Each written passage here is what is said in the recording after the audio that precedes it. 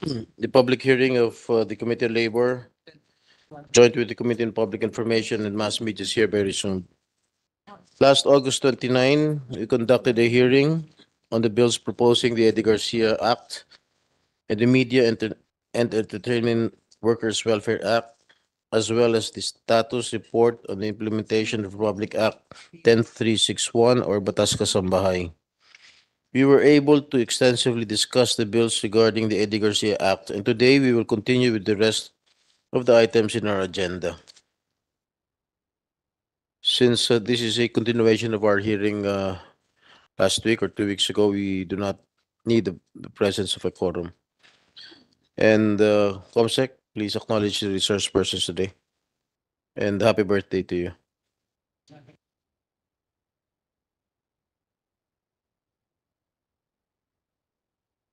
Thank yeah, thank you, sir. Thank you, Mr. Chairman. Uh, For the record, um, invited resource persons for this morning's uh, two clustered agenda are the following. From the various government agencies, Undersecretary Benjo Santos Benavides from the Department of Labor and Employment. From the From the Pag-ibig Fund, Attorney Jose Roberto Po. Together with Attorney Christine Pastores. From the Phil- Philippine Health Insurance Corporation, uh, Mr. Rex Paul Ricoter. Together with Mr. Jojit Mislang. From the Social Security System, Mr. Carlo Villacorta. From the Civil Service Commission, Attorney Romulo Concha Jr together with Attorney Hazel Joy Galamay Gartuque. From the private sector, from the National Alliance of Broadcast Unions, Mr. Generoso Villanueva Jr., President, together with Mr. Paulo Valero. From the GMA Network Incorporated, Attorney Jose Vener Ibarra, together with Ms. Rachel Cruzado Mendez, and Attorney Regino Moreno. Also, Attorney Giancarlo Lorenzo Gempis. From the ABS-CBN Corporation, Attorney Maximilian Uy. Together with Attorney Maria, Maria Cherry Cruz.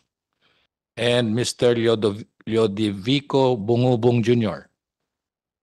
From TV5, Attorney Zionel Ann Vargas together with Mr. Randolph Castilet, Ms. Charmaine Dacayana, and Mr. Mark Anthony Cabrejas. From the Philippine Motion Picture Producers Association, Ms. Rosel Monteverde, the chairperson, together with Attorney Josabet Alonso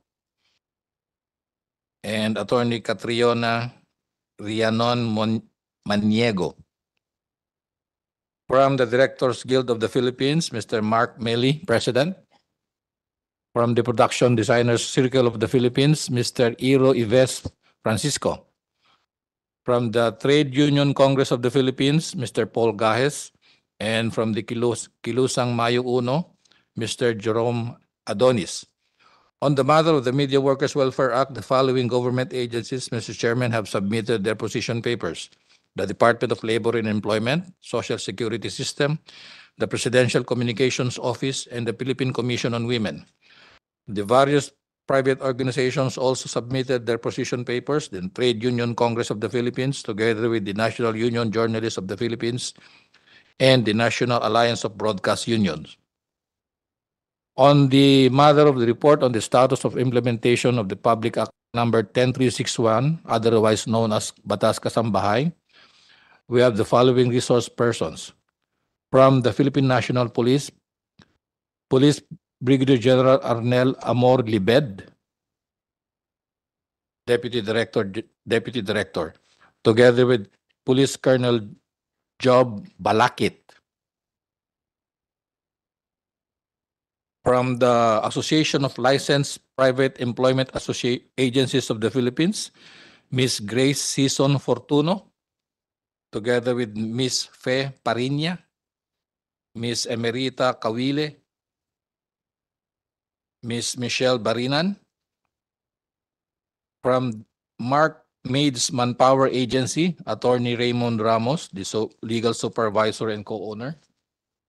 From the United Domestic Workers of the Philippines, Ms. Himaya Montenegro, Secretary General. Ms. Adriana Kimpo Chu, and Ms. Grace Estrada. Uh, four government agencies are, have submitted their presentations on the Batas Kasambahay, and these are the Department of Labor and Employment, the Social Security System, Pag-ibig Fund, and the Philippine Health Insurance Corporation or PhilHealth. That's all, Mr. Chairman. Thank you. Thank you, Comsec. Let- At this point, let us uh, listen to our to our resource persons who have any opening statements, if you have any. I saw the, do you have any presentation? Ano siya? Ah, Sambay. We- We'll go first with the Media Workers Welfare Act. Any uh, opening statement? Wala. Then we will proceed with the mm, Kasambahay Law and the Eddie Garcia Act again. By the way, I will uh, conduct a another hearing on the Eddie Garcia bill this coming Wednesday, our last day of session. And by the way, we had a uh, a group discussion last uh, Friday wherein Senator Robin Padilla hosted a uh, dinner for uh, for some actors and actresses, but we didn't get the opinion of the producers and the dir- uh, the opinion of the directors.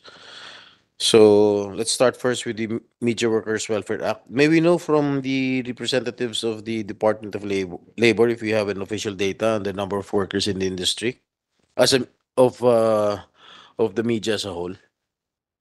Mr. Chair, we don't have uh, administrative data as to the number of all workers in the media industry, considering the pa- the fact that uh, yung iba lang pong establishment ang na-inspect namin, whose workers are considered employees. So it's mas may masaya po kami na yung yung mga bills po ay will already cover workers, all workers without regard to employment relations. When you say media, it involves television, radio, Yes, Mr. Chair. movies, tsaka sa news. Yes, How, how Mr. do you Chair. categorize uh, each member of? Well, uh, we categorize them as uh, a whole, uh, ano po, mga employer po sila, uh, covered by the Labor Code of the Philippines. Uh, they they work in communication and uh, the, the media industry, Mr. Chair. Hmm. Uh, if you do not have an official data, can you give me a ballpark figure on how many are workers of the media industry? Dyan? Mr. Chair, uh, our administrative data does not actually provide us the uh, an estimate of the workers in the media industry, Mr. Chair. Bakit wala? Uh, because we have limits uh, as to one uh, reporting and uh, inspection. There is actually no uh, regulation requiring media outlets to report the number of workers.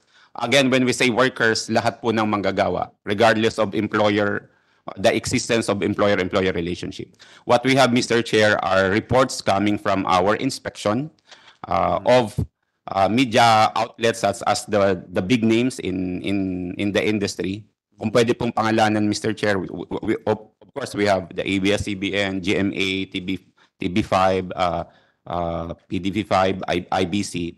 Uh, this, these companies were inspected uh, by the Department of Labor and Employment, and as a result of that inspection, we will be able to uh, get numbers of their employees. Again, I would like to stress these employees because our administrative data does not have the total number of workers working in the media industry, Mr. Chair.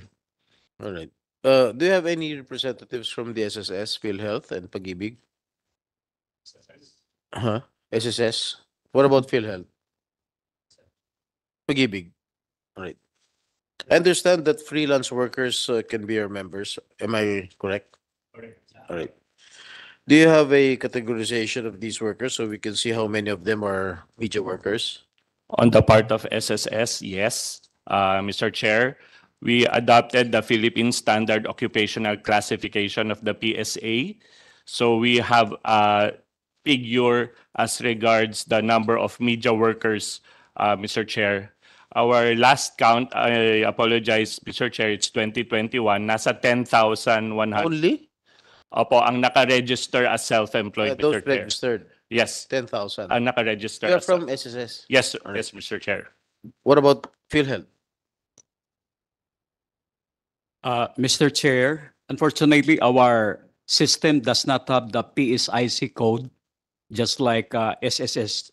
So therefore, we cannot, we do not have the tagging whether that uh, particular person is part of the media or entertainment worker. But what we, what we tag, if that individual remits to PhilHealth, uh, he is, con- he or she is considered to be a direct contributor, self-paying, parang independent contractor.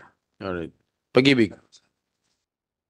Uh, Mr. Chair, good, mor- good morning. For Pag-ibig Fund, uh, both the employer and the employees are required to register with Pag-ibig Fund. However, there are self-employed individuals, sir, uh, who, who registers with Pag-ibig Fund. Sige, And then, may ano ka ba? Sorry. May, uh, with, uh, for Pag-ibig Fund, sir, uh, we have the uh, mandatory covered employees. So for example, they are uh, employees of the, of media outlets to, when they are re- required to uh, deduct and remit. so sa database nyo, hindi, nyo, No, hindi sir. mo masasabi kung Yes, sir. ilan yung because, the- media because there are other uh, talents or media workers who uh, contribute as self-employed individuals. They are not directly, they're they're not considered employees of the uh, media workers, and so they, oh, they, they remit the employer and employee contributions on their own, Mr. Chair.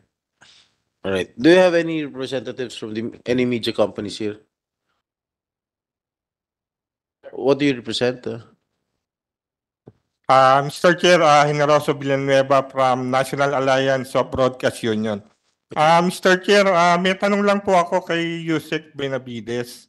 Uh, yun po, kasi nung 2018, nagkaroon po ng inspection sa lahat ng broadcast company po.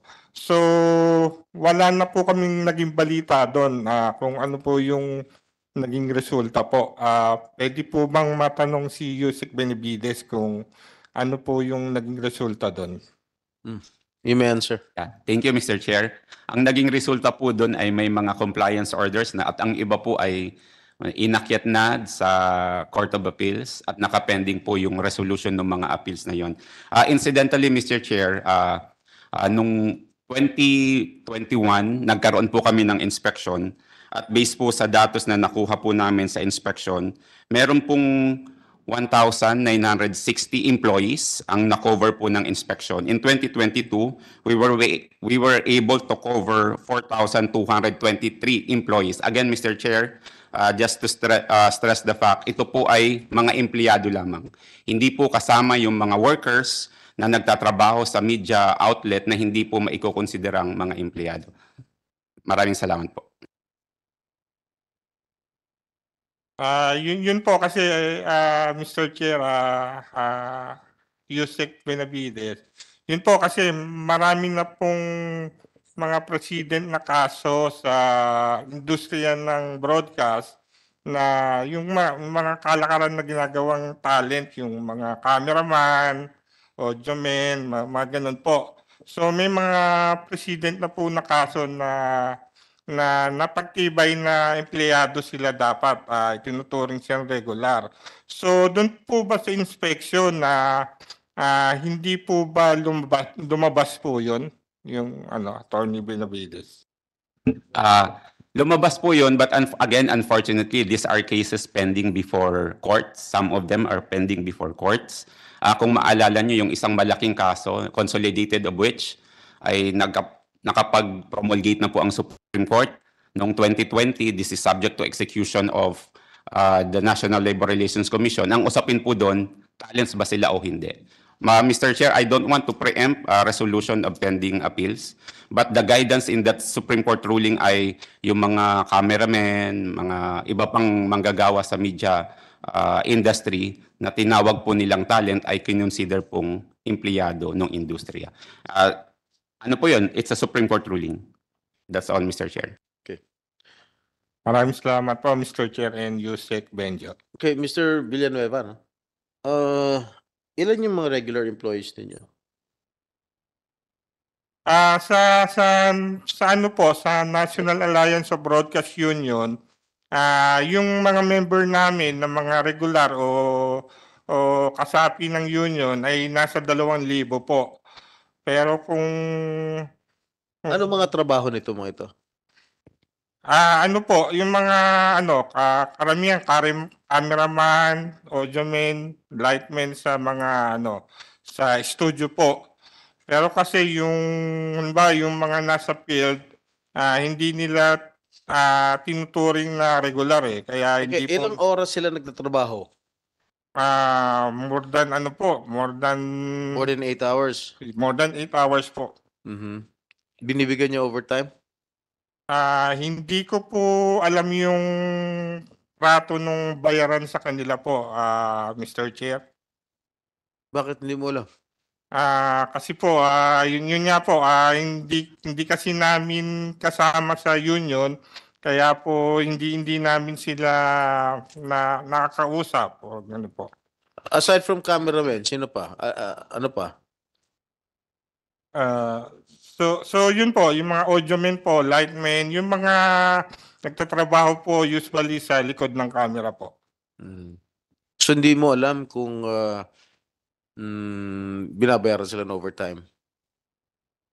Ah, may natanong po ako, for example po, sa sa ABS-CBN po, ang bayaran daw sa kanila ay, ang rate nila, ah, parang naka, naka fix na pang 24 hours po yung Meron ba tayo bayad sa kanila. ABS-CBN dito? Yeah. Sa GMA meron? TV5. Hmm. Sagutin niyo morning. na lang yung mga tanong ko. Good morning, Mr. Chair. Yeah. Yes, um, for ABS-CBN, the workers, uh, referring to the, um, cameraman crew for the TV production are paid on a, based on a negotiated rate we have with them. Based on A negotiated rate we have. with- negotiated basis, And for employees, we are covered by ni Dole. CBA. So we follow what was stated in the CBA. So, GMA? Uh, good morning, uh, Mr. Chair. Sa sa GMA po ang yung kalakaran po namin ay more or less pareho nung sa ABS-CBN because if you are a regular Hindi kayo nag-iiba ha? O- Opo, um, ang ang kalakaran po kasi ay ang ah, kung ikaw ay regular empl- employee ah, ayon sa ating batas po, you are entitled to ah, if you exceed 8 hours for example, you are entitled to overtime, to night differential.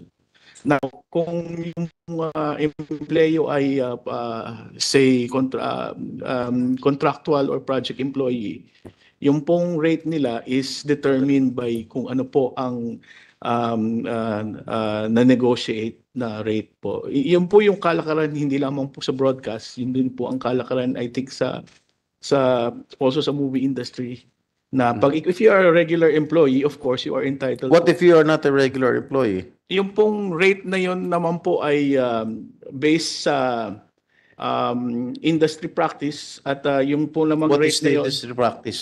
um, actually mas mataas po siya kaysa sa minimum wage kung uh, ikaw ay project employee in many instance po in uh, lalo na sa GM. How do you categorize a uh, non-regular worker? Sa ating po kasing batas sa labor code sa article 290, tatlo lang po ang em- employee kasi na rin-recognize ng batas no matter sa ating pong industriya kasi marami po tayong mga fine distinctions tulad ng talent. Ah, pero po sa batas, tatlo lang po yan eh, yung regular employee. Ang sabi po ng ating batas, if you're a regular employee, you are um, performing functions that are uh, usual and desirable doon sa main function noong ah, nung ah, industry o nung kwan nung negosyo. Hmm. Tapos nandyan po ang contractual employee. Ang sabi naman po ng batas, ang contractual employee is either for a for a fixed time, may may panahon o merong fixed na undertaking na kailangang matapos. Tapos sa gitna po niyan ay yung tinatawag na casual employee na ayon po sa ating batas, pag ikaw ay isang casual employee, ay um, hindi ka contractual, hindi ka rin regular, pero kung ikaw ay um, umabot na ng isang taon na empleyo, ikaw ay i-consider ng ating batas bilang isang regular employee. Ginagawa niyo yan? Um, Sa GMA po, of course, ang giya po niyan ay, of course, alam po ng lahat ito, may mga kaso ng pending, alam rin po ng mga Kaso ng? taga-Dole. Marami na rin pong naging kaso na magpaparegular. At uh, ina-absorb naman po namin kung merong Hindi, kautusan. ng sinusunod nyo pagka, sinusunod nyo ba yung batas pagka one year na casual employee sa kumpanya nyo, ginagawa nyo ng regular employee? ang sa sa amin po kasi sa GMA ang ang the practice of course is that um, we recognize who is a uh, um, a regular employee which is uh, who is a um, an employee who does functions that are usual and necessary and desirable to the main uh, business of GMA. Um, in fact, ang main business po ng TV is actually, actually, napagdiskusyonan na rin po namin ito kahit po nung panahong nasa KBP ang GMA. Ang TV company po kasi, ang business niya is actually not production, but airtime. Kaya nga po, ang sa pananaw po ng GMA, kung ang main business namin ay airtime, magpa gumamit ng airtime, ang ang regular employee ay yung pong mga involved sa pagpapatakbo na maiere. Hindi po siya, yung, yung pong production could be term, pwede po siyang project kasi pwede pong mabuhay ang isang stasyon nang wala pong sariling production.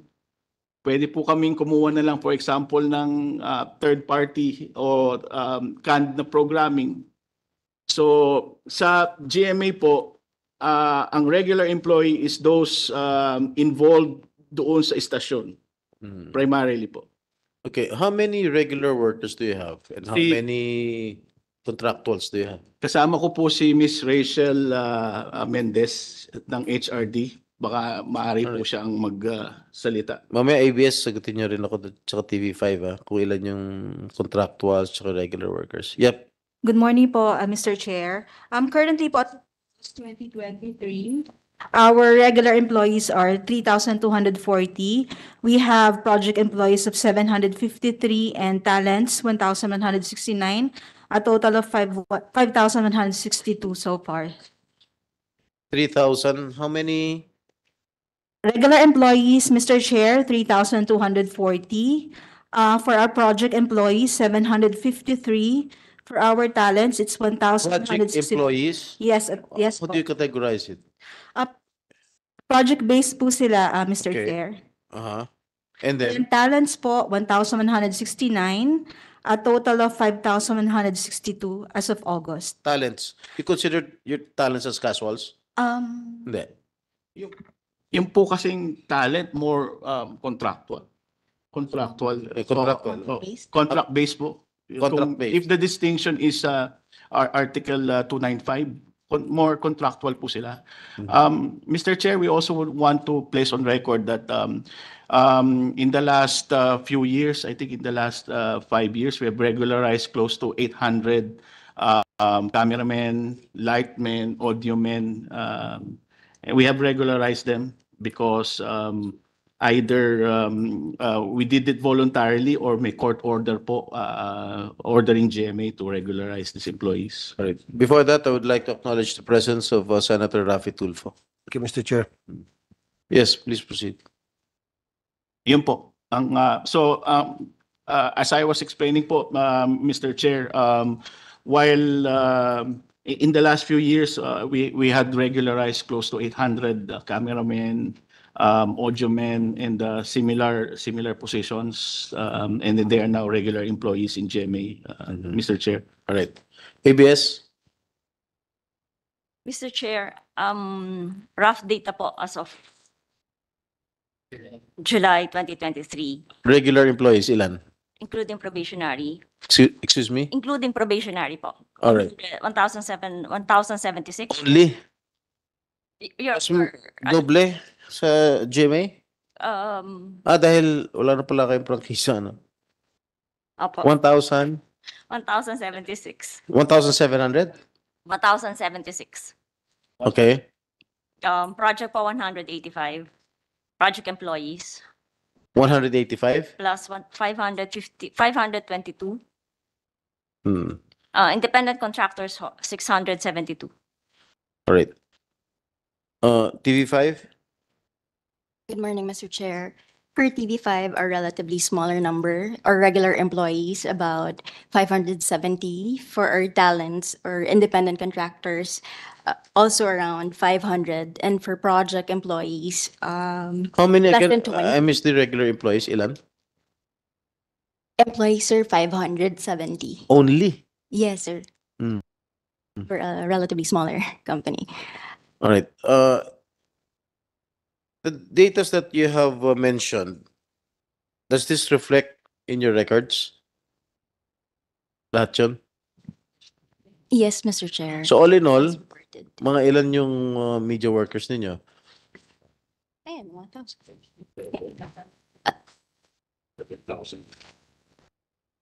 Kami po, Combined. uh, for ABS4, uh, less than 2,500. Less than Less than 2,500 po. ABS? Workers so total. Yes. um, Including, regardless of employment relations, including all types of workers po. GMA? Um, sa amin po, it's 5,162.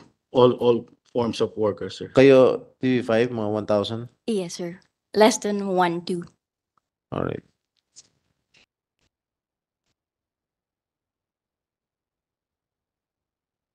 Okay, yung kasi the statistics is very important for us to be able to uh, properly and effectively implement the pro- the uh, provisions of uh, the proposed bill.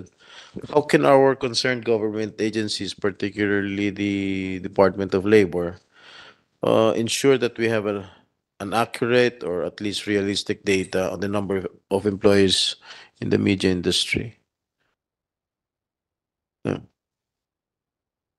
Uh, Mr. Chair, maybe uh, perhaps aside from inspection where uh, we we enforce standard, pwede po sigurong i-consider natin uh, for workers who are not employees to that their number or names be reported also to to the Department of Labor and Employment.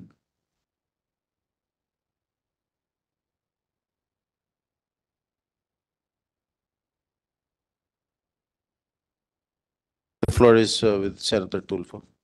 Uh, Mr. Chair, having been a member of the media before I became senator for more than two decades, nakikita ko po yung kadalasang problema na encounter ng mga taga-media, especially mga reporter and cameraman, lalo pa kung sila po ay talent because never po ako naging regular, ako po ay palaging talent at accepted ko po yun.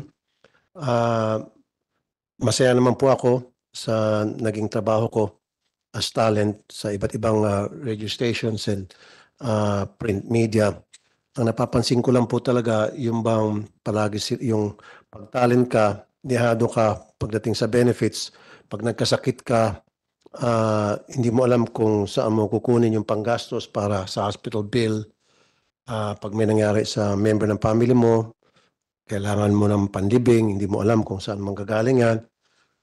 Um, And anytime pwede kang tanggalin kasi nga wala kang security of tenure dahil talent ka. So siguro it's about time na alisin ang contractualization sa media. Siguro gawin na ng talent lahat ng mga reporter at saka mga cameraman. Kasi napakahalaga po ang ginagampan ng papel ng mga reporter at cameraman. Sila po ang nagdadala ng balita sa ating mga tahanan. They are the one that educate us kung ano po yung nangyari sa ating bansa they they play a very important crucial role yung cameraman at uh, reporter. And yet pagdating naman uh, sa benefits at sweldo of course I'm talking about talents sila po ay nadidihado. Pag regular okay lang. Pag talent dihado sila. I remember uh, several times may mga kasama ako sa TV5 na nagkasakit uh, kulang sila sa benefits sa akin lumapit. And of course, I'm very proud and happy sa kanilang tiwala. Ako nilapitan. And that not only applies dun sa mga kasamahan ko sa TV5, maging sa mga ibang uh, nag-work sa ibang stations na kapag meron silang kailangan, especially sa sa pag nagkasakit, um, kulang yung benefits na tatanggap. And I've been saying this all along. Ang masakit nito, Mr. Chair, um, ang nangyari kapag merong isang taga-media nagkasakit yung kanyang kamag-anak ah, at nalaman po ng mga politiko, yung mga politiko mag-o-offer na tutulong doon sa taga-media na yon. So, anong nang, what, happens then after that? Of course, itong taga-media, eh, indebted na po siya doon sa politiko na tumulong sa kanya. One way or the other, eh, medyo magiging bias ng kanyang reporter, uh, reporting, uh, especially kung concerning dito sa politiko na tumulong sa kanya. That's why kailangan po talaga mabigyan ng full benefits at magandang ah, salary ang mga taga-media nang sa gayon magiging balanse palagi ang kanilang pag-uulat ng mga balita. Salamat po, Mr. Chair. Thank you, uh, Senator Rafi. Yes, you're, you're raising your hand. Ah, Mr. Chair, ah, may may isa pa po kaming concern na yun nga po, ah, hindi ko narinig yung nabanggit na bilang ni Attorney Cherry. Pero ah, yung concern kasi namin, yung bilang ng unionized na empleyado, eh sobrang baba po compare doon sa kabuuan nung nung manggagawa. Ah, yun nga po, ah, hindi ko alam kung ilan yung nabanggit ni Attorney Cherry pero sa kasalukuyang bilang namin po ah, sa ABS-CBN po ay nasa 120 plus lang po kami. Ah, yun lang po yung kasapi sa sa Union. Ah, kanina po may nagbanggit na tatlong tatlong klase lang yung yung klase ng manggagawa, supervisory, ah ah, rank and file at yung managerial. So, pa- paano po nangyari na ganon na na sobrang liit nung porsyento nung union sa ABS-CBN? May want to respond? Mis- Mr. Chair, as of this moment, um, I have no data on the number of union workers, but according to Mr. uh, Villanueva. However, our, the the data, but that you requested, number of our regular employees, including probationary, project and project employees, uh, includes already the number of union members, which are all regular employees.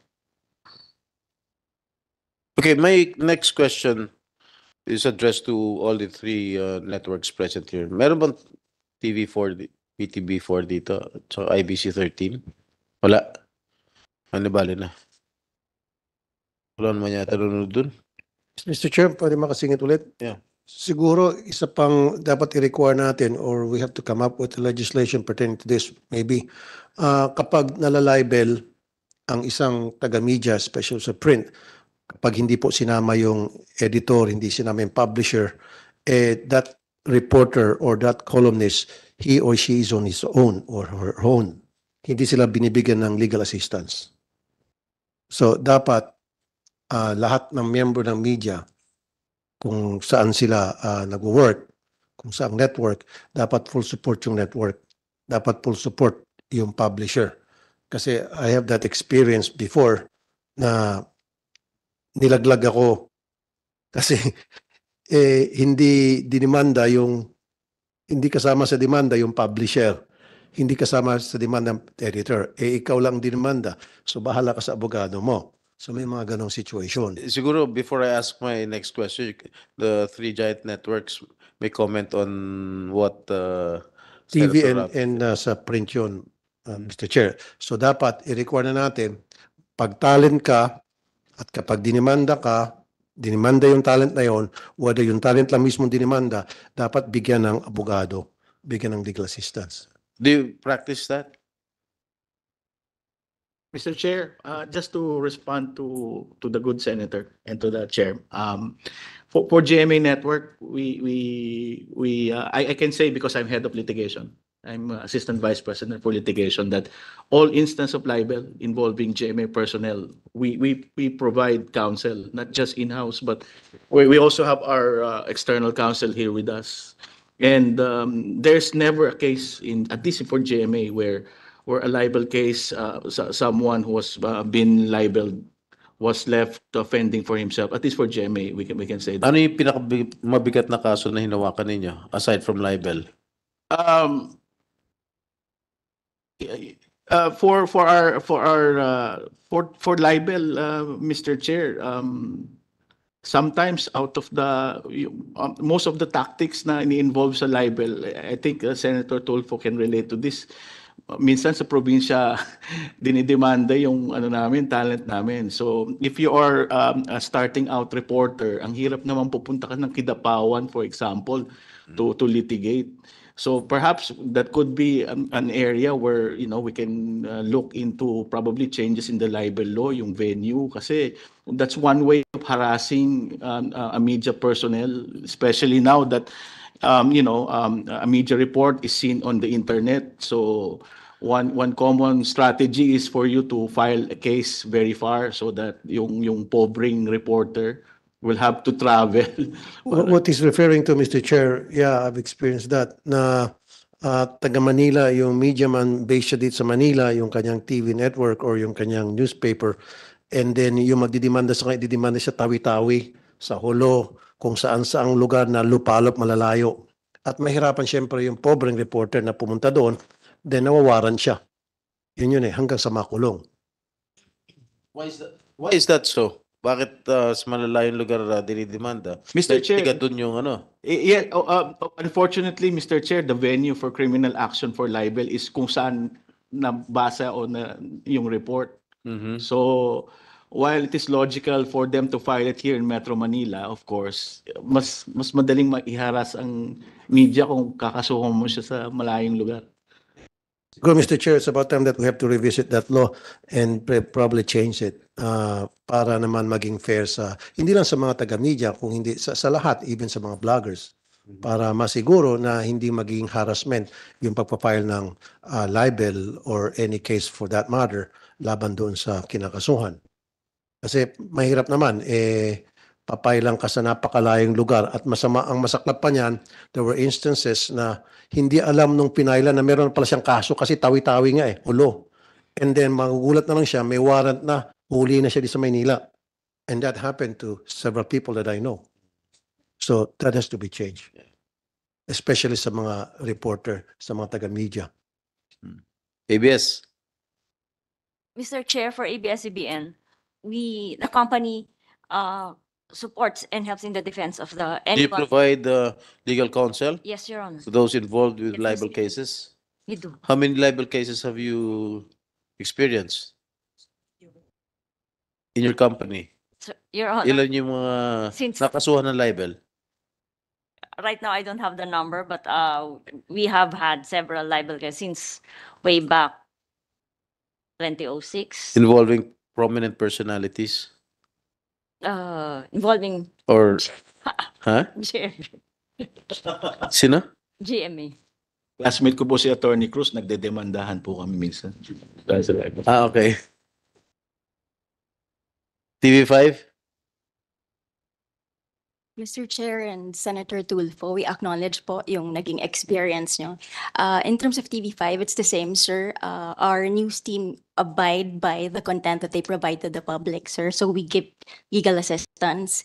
I think in the last five years, we've had less than five or 10 libel cases. Mhm. Um, but So you provide legal counsel to them? Yes, sir. Uh, that said po, I think meron din pong puwang para pag-usapan na sometimes you also take into consideration if there may have been violations as well by the talent or deviations from protocol. Kasi po the general standard naman po, um, even with their contracts, with their block timers, and with their talents, nakasaad na po doon na they would comply with MTRCB, KBP rules. So meron lang pong instances, for example, may nangyayari po na for live live programming, meron pong mga deviation. So those are exceptions po na I think dapat din pong pag-usapan and, and i-consider po. Okay, I just want to add, M- Mr. Chair, uh, TV5 is okay because nagtrabaho ko sa TV5. Talagang uh, well provided ako sa lahat ng mga pangailangan ko, legal assistance. and Nakasuhan all. na kayo ng libel, di ba? Um, nung panahon ng T3. No? Ata, I think, I think if I remember. And sinuportahan naman kami ng TV5, binigyan kami ng legal assistance. Gusto ko lang po malaman ng lahat na um, sa mga TV network at sa mga newspaper, maraming dinadaanan yan bago lumabas before it's off print or broadcast. Mayroong mga screening na ginagawa yan. May mga editor sa, newspaper readers, so forth and so on. So kapag na-demanda usually yung any member of say Channel 5, Channel 7, Channel 2, usually it's form of harassment para matigil na yung pag-expose ng network doon sa katiwalian ng kung sino man Poncio Pilatong yon. And I've experienced that. So, kalimbawa, TV5, meron pong pinapalabas na ah, mga balita o expose tungkol sa isang katiwalian. And then yung tinatamaan doon, magdidemanda para mapahinto.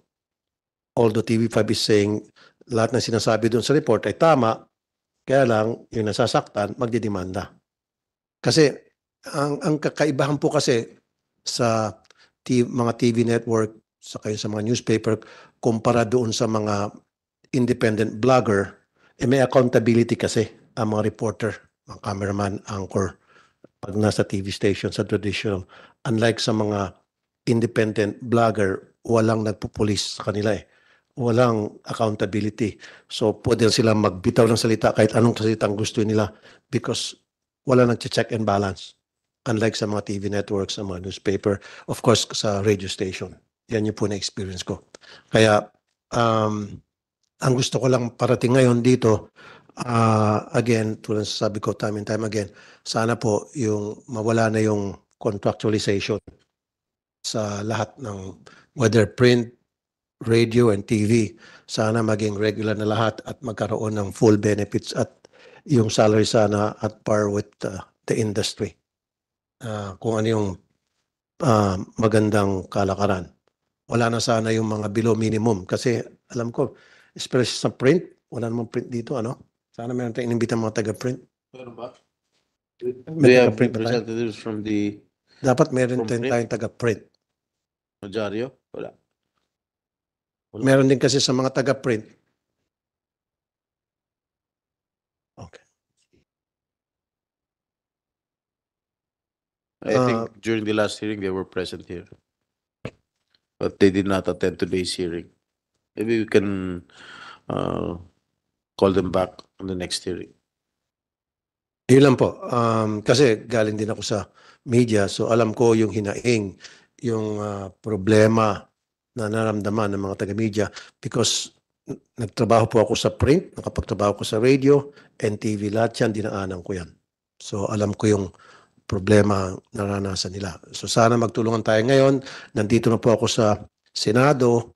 Of course, yung karanasan ko noon bilang media man, eh, mailalabas ko na rito at para masuportahan naman yung mga taga-media natin. Like I said earlier, eh, napakahalaga po ang papel na ginagampanan ng mga taga-media dahil sila po ang nag-educate sa atin kung ano talagang tunay na nangyari sa ating bansa. Ah, kung ano yung mga dapat malaman ng taong bayan, whether that's primetime news or any time of the day na news na galing po sa ating mga tawagin kong traditional media. Dahil walang fake news na lumalabas sa kanila. Talaga, I can say that. With, regardless kung anong TV channel yan, I know that for a fact na pag yung regular, yung mga TV stations, hindi nagpapalabas yan ng mga fake news. Yung mga radio stations, TV and radio stations, hindi yan. Maging sa mga newspaper. Maliban na lang siguro dun sa mga vloggers na walang walang uh, nireporta na amo, 'di ba? O kumpanya, independent. Yun yung nakakatakot. Doon nag-umpisa yung fake news, Mr. Chair. Thank you. Okay, uh, sa ABS, uh, GMA, tsaka TV5, uh, in conjunction with what uh, Senator Tulfo mentioned earlier, tungkol sa mga fake news, no, paano nyo na uh, hindi ba kayo nag nag-scrutinize muna ng mga news bago kayo mag-broadcast? Jimmy, uh, ikaw, Jimmy. Thank you, Mr. Chair. Um, y- yung pong proseso Kasi kasi, po- kunwari, Yes. meron kayo natatanggap ng mga balita, hindi naman kayo sigurado kung totoo, pinabroadcast nyo kagad o yung, yung po kasing kalakaran for GMA, ah, multi-level po kasi ang vetting ng news bago siya lumabas sa Ah. sa TV o sa online platform. Meaning, nagsisimula po yan by, of course, yung reporter pitching kung ano yung Yeah. hawak niya. Pero, of course, yung reporter na yon will have to uh, uh, report to his program manager and uh, yung pang mga bosses. And sometimes, meron pa pong la- layer na merong mga editorial, ano eh, editorial uh, uh, review. Um, ako po nakaupo sa ilang editorial board. Minsan, nagpe-preview po kami. So, sa ma, ma, ma- ano po eh, ma, mahaba yung proseso bago siya lumabas. Okay. Ah, meron na bang instance na kunwari merong mga well-known personalities o diretso na kita mga politiko na nakikiusap sa inyo na wag ilabas to, wag, wag ilabas itong storyang to kasi nakakasira sa politikong to. Pero bang mga politiko na nakikiusap sa inyo? Ah, kumbaga, to- damage control. To be to be uh, frank with with the chair, um, may mga naririnig po kami pero hindi po direktang pinapa ano eh um, sa amin. Kaya ang ang nangyayari po Parang is- news blackout, parang ganun.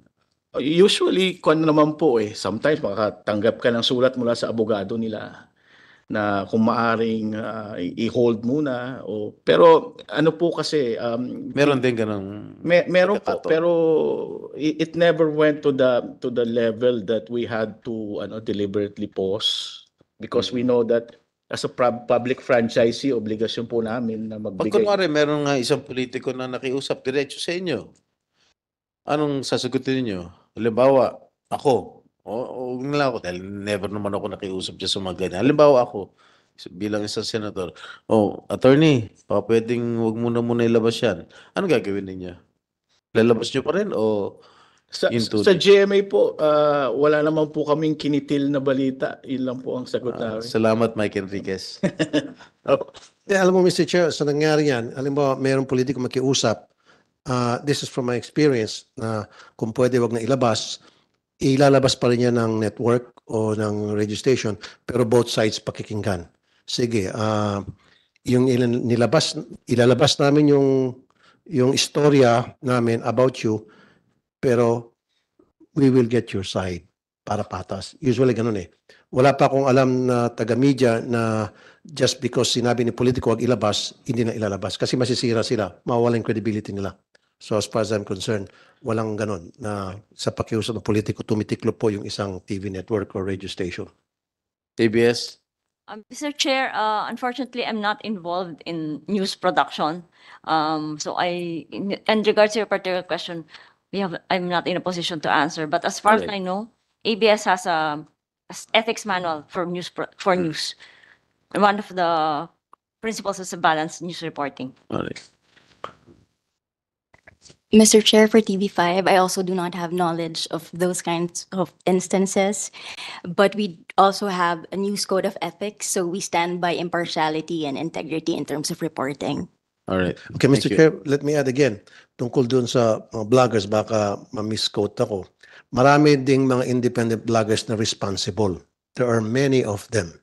Now, although they don't report to a certain company, an entity, uh, and they're just by themselves, uh, independent, uh, responsible pa rin sila.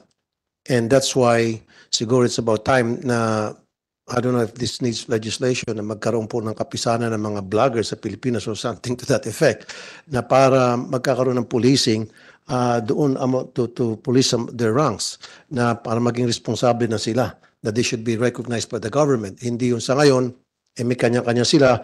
Marami nga dyan ng mga vloggers na sumusunod sa Code of Ethics, sa tamang pamamaraan na para ilabas mo yung mga istorya mo sa social media. Pero meron pa rin talaga dyan mga girila na talagang pag umupak, upak lang na without thinking of the consequence because walang nag-regulate sa kanila.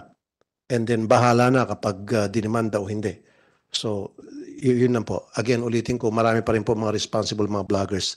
Kaya lang, meron iilan dyan na yun ang sumisira na talagang wala nang sinusunod na patakaran basta tira lang ng tira. Thank you, Mr. President. Yun yung mga nagde-deliver ng mga fake news. Yun yung Mga doon ilan- nag-umpisa. mga ilan lang ha. Yung ilan lang. Hindi natin nila lahat. We're not giving a sweeping statement here. Anyway, the bills in our agenda today, seeks to provide uh, a flurry of benefits and ensure humane working conditions for media workers in the Philippines, which shall include, among others, hazard pay, death, disability, and medical benefits. May we know uh, the existing benefits uh, or coverage being offered for these workers? I guess itong tatlong media networks na naman ang kailangan sumagot.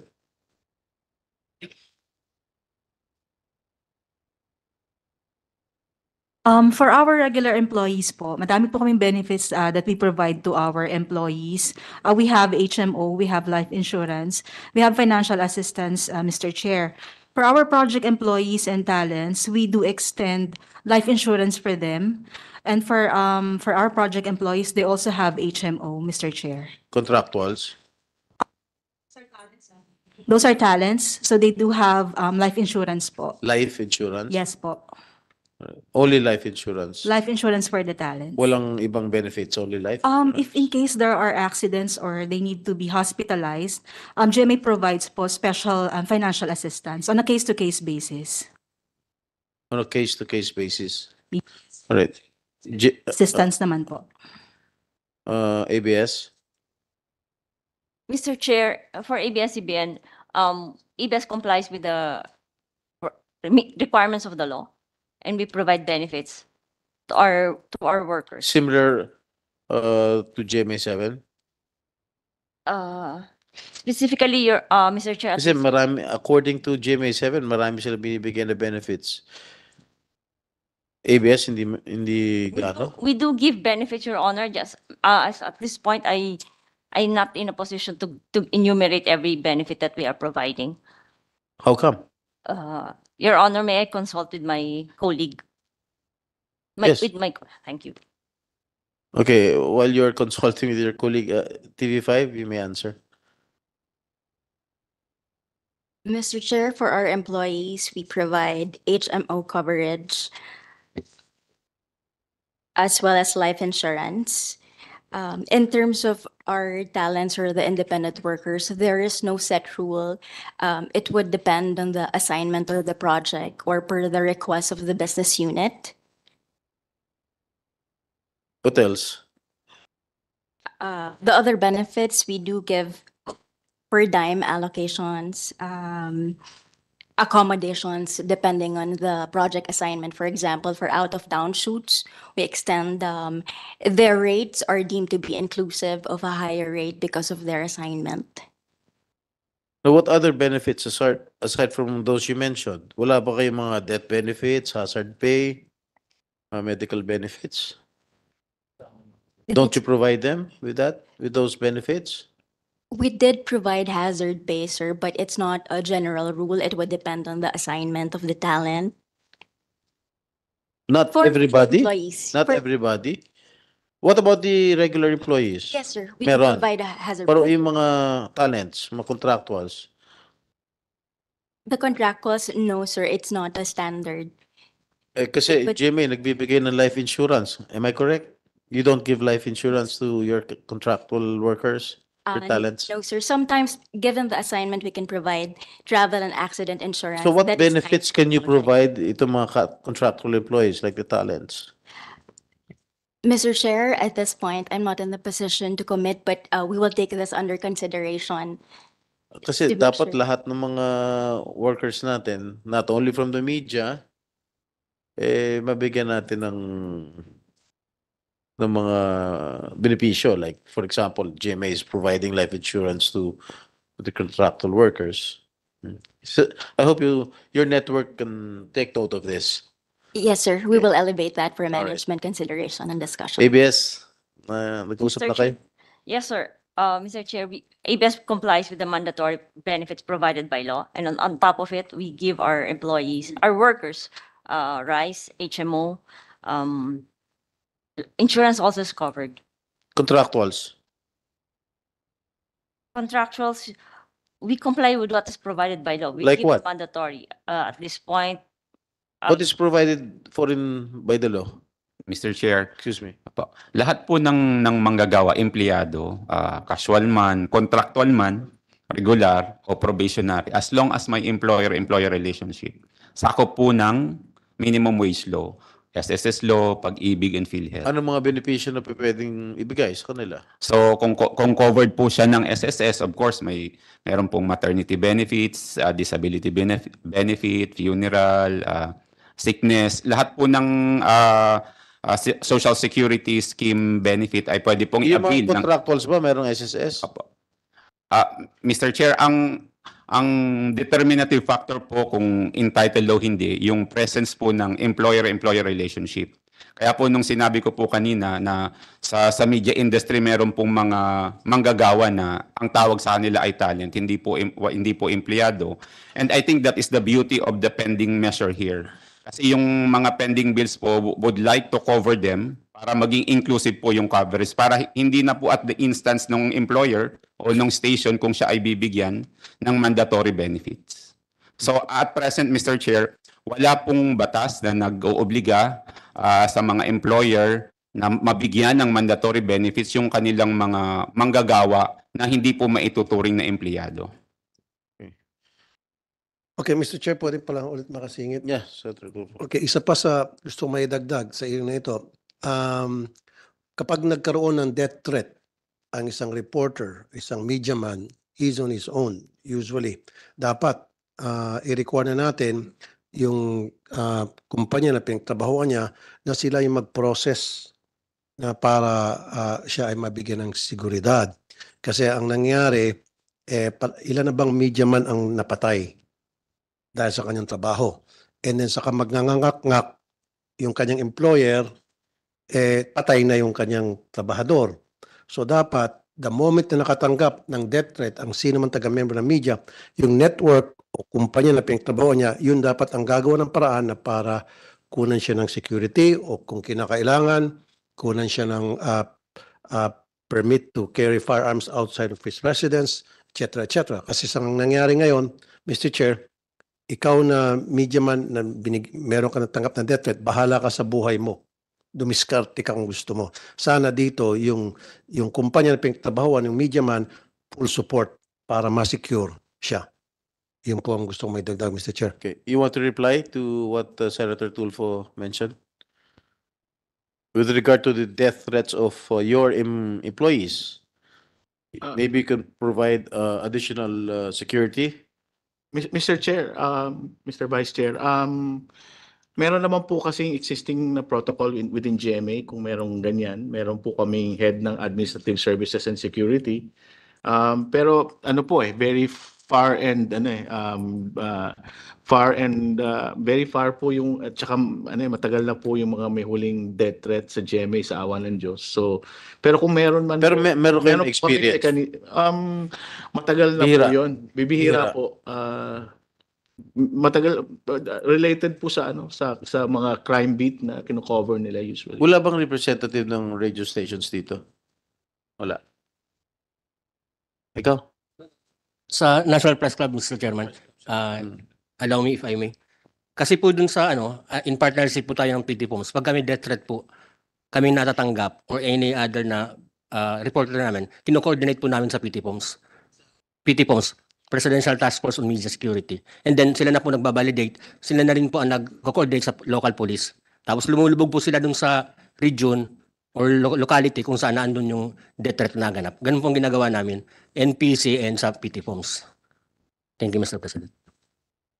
Eh, ABS, do you have any experience na magkaroon ng death threats ang inyong mga empleyado?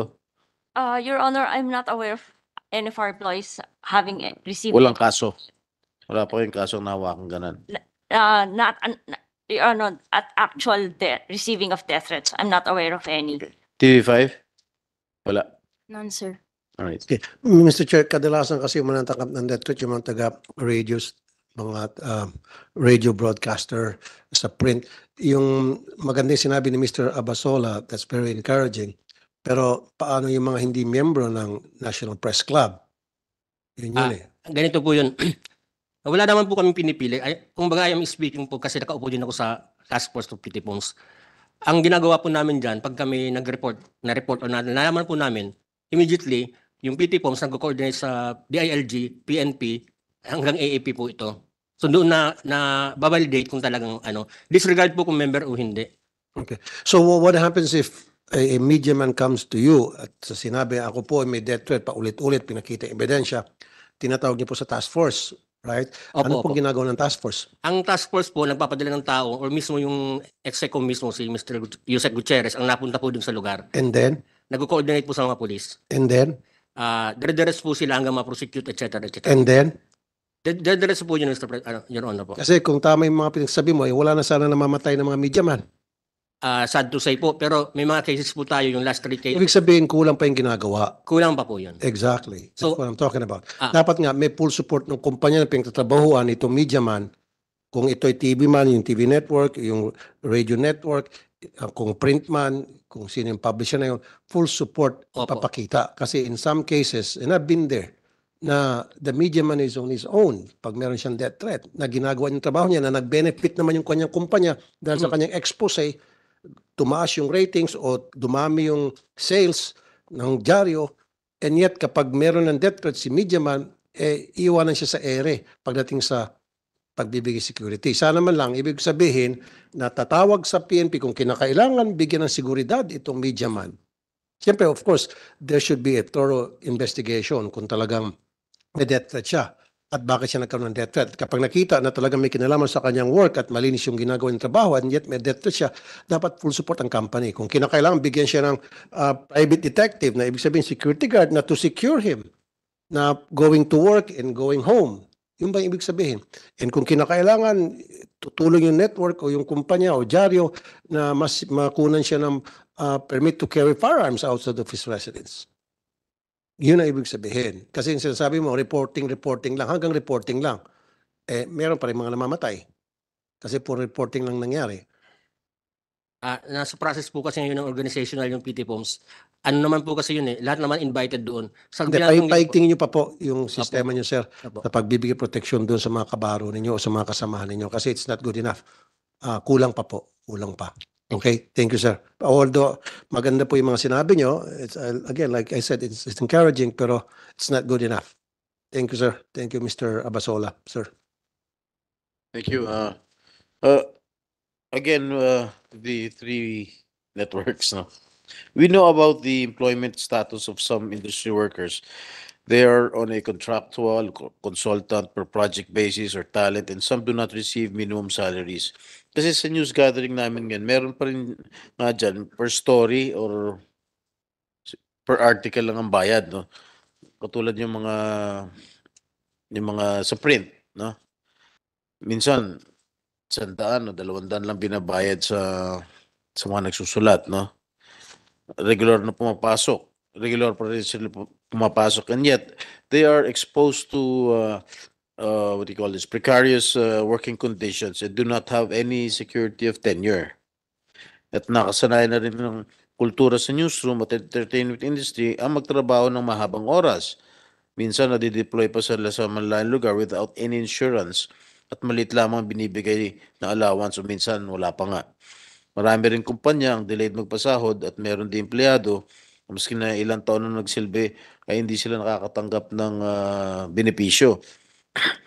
In pushing for the approval of this uh, legislation, may we know how this measure will affect the overall situation, particularly on your company's bottom line?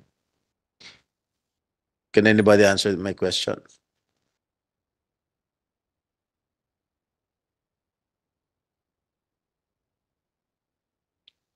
Sir, on our end, I think it will take um, an organizational and cost impact analysis for management to know the extent of uh, what kind of assistance we can provide. Of course, we would submit to the wisdom of the legislature if this will turn into a law. Um, pero consistent naman po, sir, since the beginning pa ng mga bills, um, we humbly state our position na kailangan din pong sigurong i sa alang-alang yung capacity po ng mga producers, not only the major networks, sir, but all um, production entities. Kakayanin nyo kayang ibigay ito, ah, yung mga benepisyo sakaling uh, may sa batas itong, ma- itong panukalang batas na ito. Sir, ang masasabi ko lang po sa ngayon, kailangan po pong pag-aralan din in terms of our structure and our financial capacity. Mhm.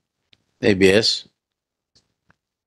Sir, same, your, Mr. Chair, same with TV5, ABS needs to study the impact, not only operational but financial and organizational wise. Hmm. Jeme, palagay ko may bibigay niyo, no? Uh, some of these benefits, we, we, uh, uh, uh, Mr. Chair, um, we were required during the last, um, public hearing on August 29 to submit a position Do you paper. have it right now? Uh, We, we submitted already to, to the Meron na? committee. Um, in advance na, uh, Mr. Chair, but, um, while, while, um, in our position paper, we have s- stated that some of these benefits were are already given by, not just by GMA, probably by the other players. Have you submitted your position paper? Ye- Yes, uh. No, what about Mr. Chair. ABS and TV5? Mr. Chair, we have submitted our position paper on the Eddie Garcia bills, but not Oh, for the not, media. uh, work. only on the Eddie Garcia yes. bill, but not in this bill that we are tackling right now? Not Can yet. you submit your position paper Yes, Your Honor, in one week's time? In a week's time? one week's time. It, Mr. Chair, may we clarify the period? Seven, a week's time? Yeah, one week. Okay. Business Ilang days. araw niyo ba gusto? Can we have Yeah. seven working days, Mr. Chair? All right, seven Thank you, working Your Honor. days. Uh, eh, Mr. Chair, we submitted a, um, as, as requested by the, the- the, the chair, we submitted a position paper on, uh, on Senate Bill four sixty. And, uh, the Eddie Garcia bill, uh, uh, Mr. Chair, we, we will, uh, we will probably adopt some parts of it in, in compliance with the pending measure, um, being tackled today. All right. Okay, I just got hold of your position paper right now.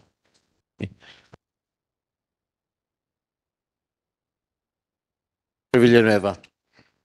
Ah, Mr. Chair, ah, may concern lang po ako. Ah, i-segue ko lang po ito.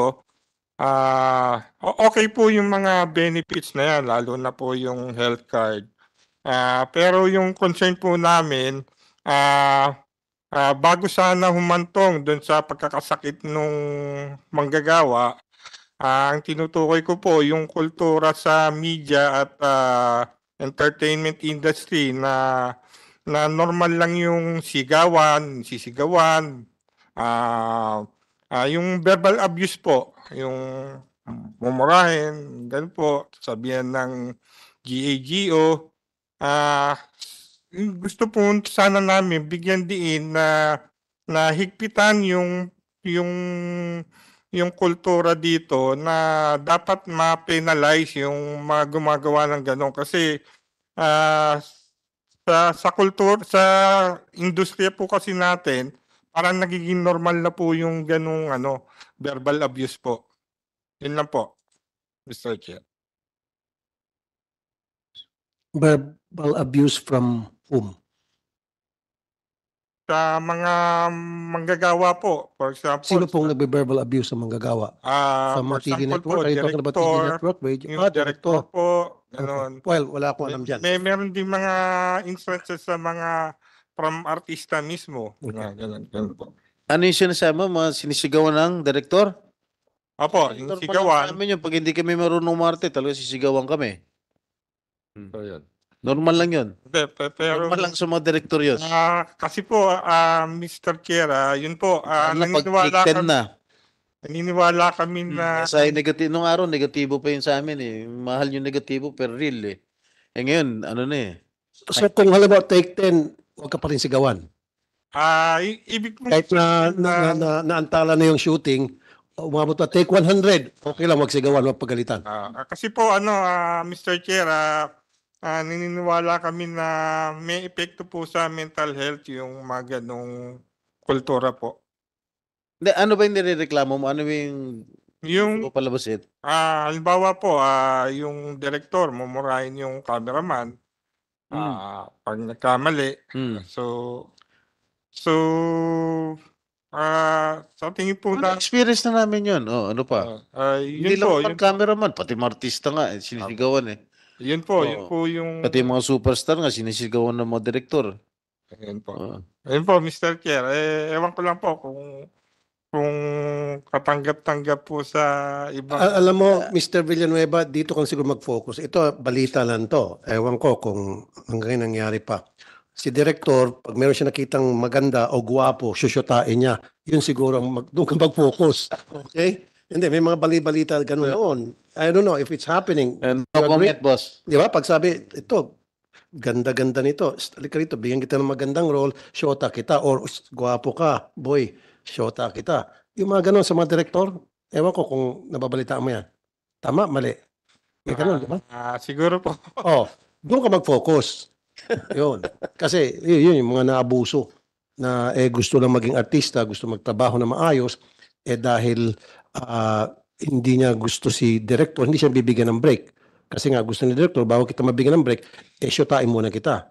Yun yung dapat pagtuunan mo ng pansin, ah, Mr. Villanueva, sir. Thank you. No comment ako Salamat. dyan, boss. Pero dito sa aming industriya kasi, uh, just to give you uh, additional information, pagka nasigawan ka ng direktor, hanggang doon lang yun. Hindi naman, hindi naman nila pinipersonal yung galit, yung sigaw, no? Pati sa cameraman. Pagkatapos na mapakap ang shooting, magkakaibigan pa rin kami lahat. No? Nag-uusap-usap kami. Pero hindi naman, walang personalan tong yung sa trabaho namin. Hindi naman na may personal ang mga direktor, hindi na may personal yung mga artista, walang walang personalan, trabaho lang. Yes. Miss Rochelle, yan.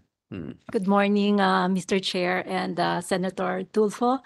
Um, I'm representing po the ano, uh, producers.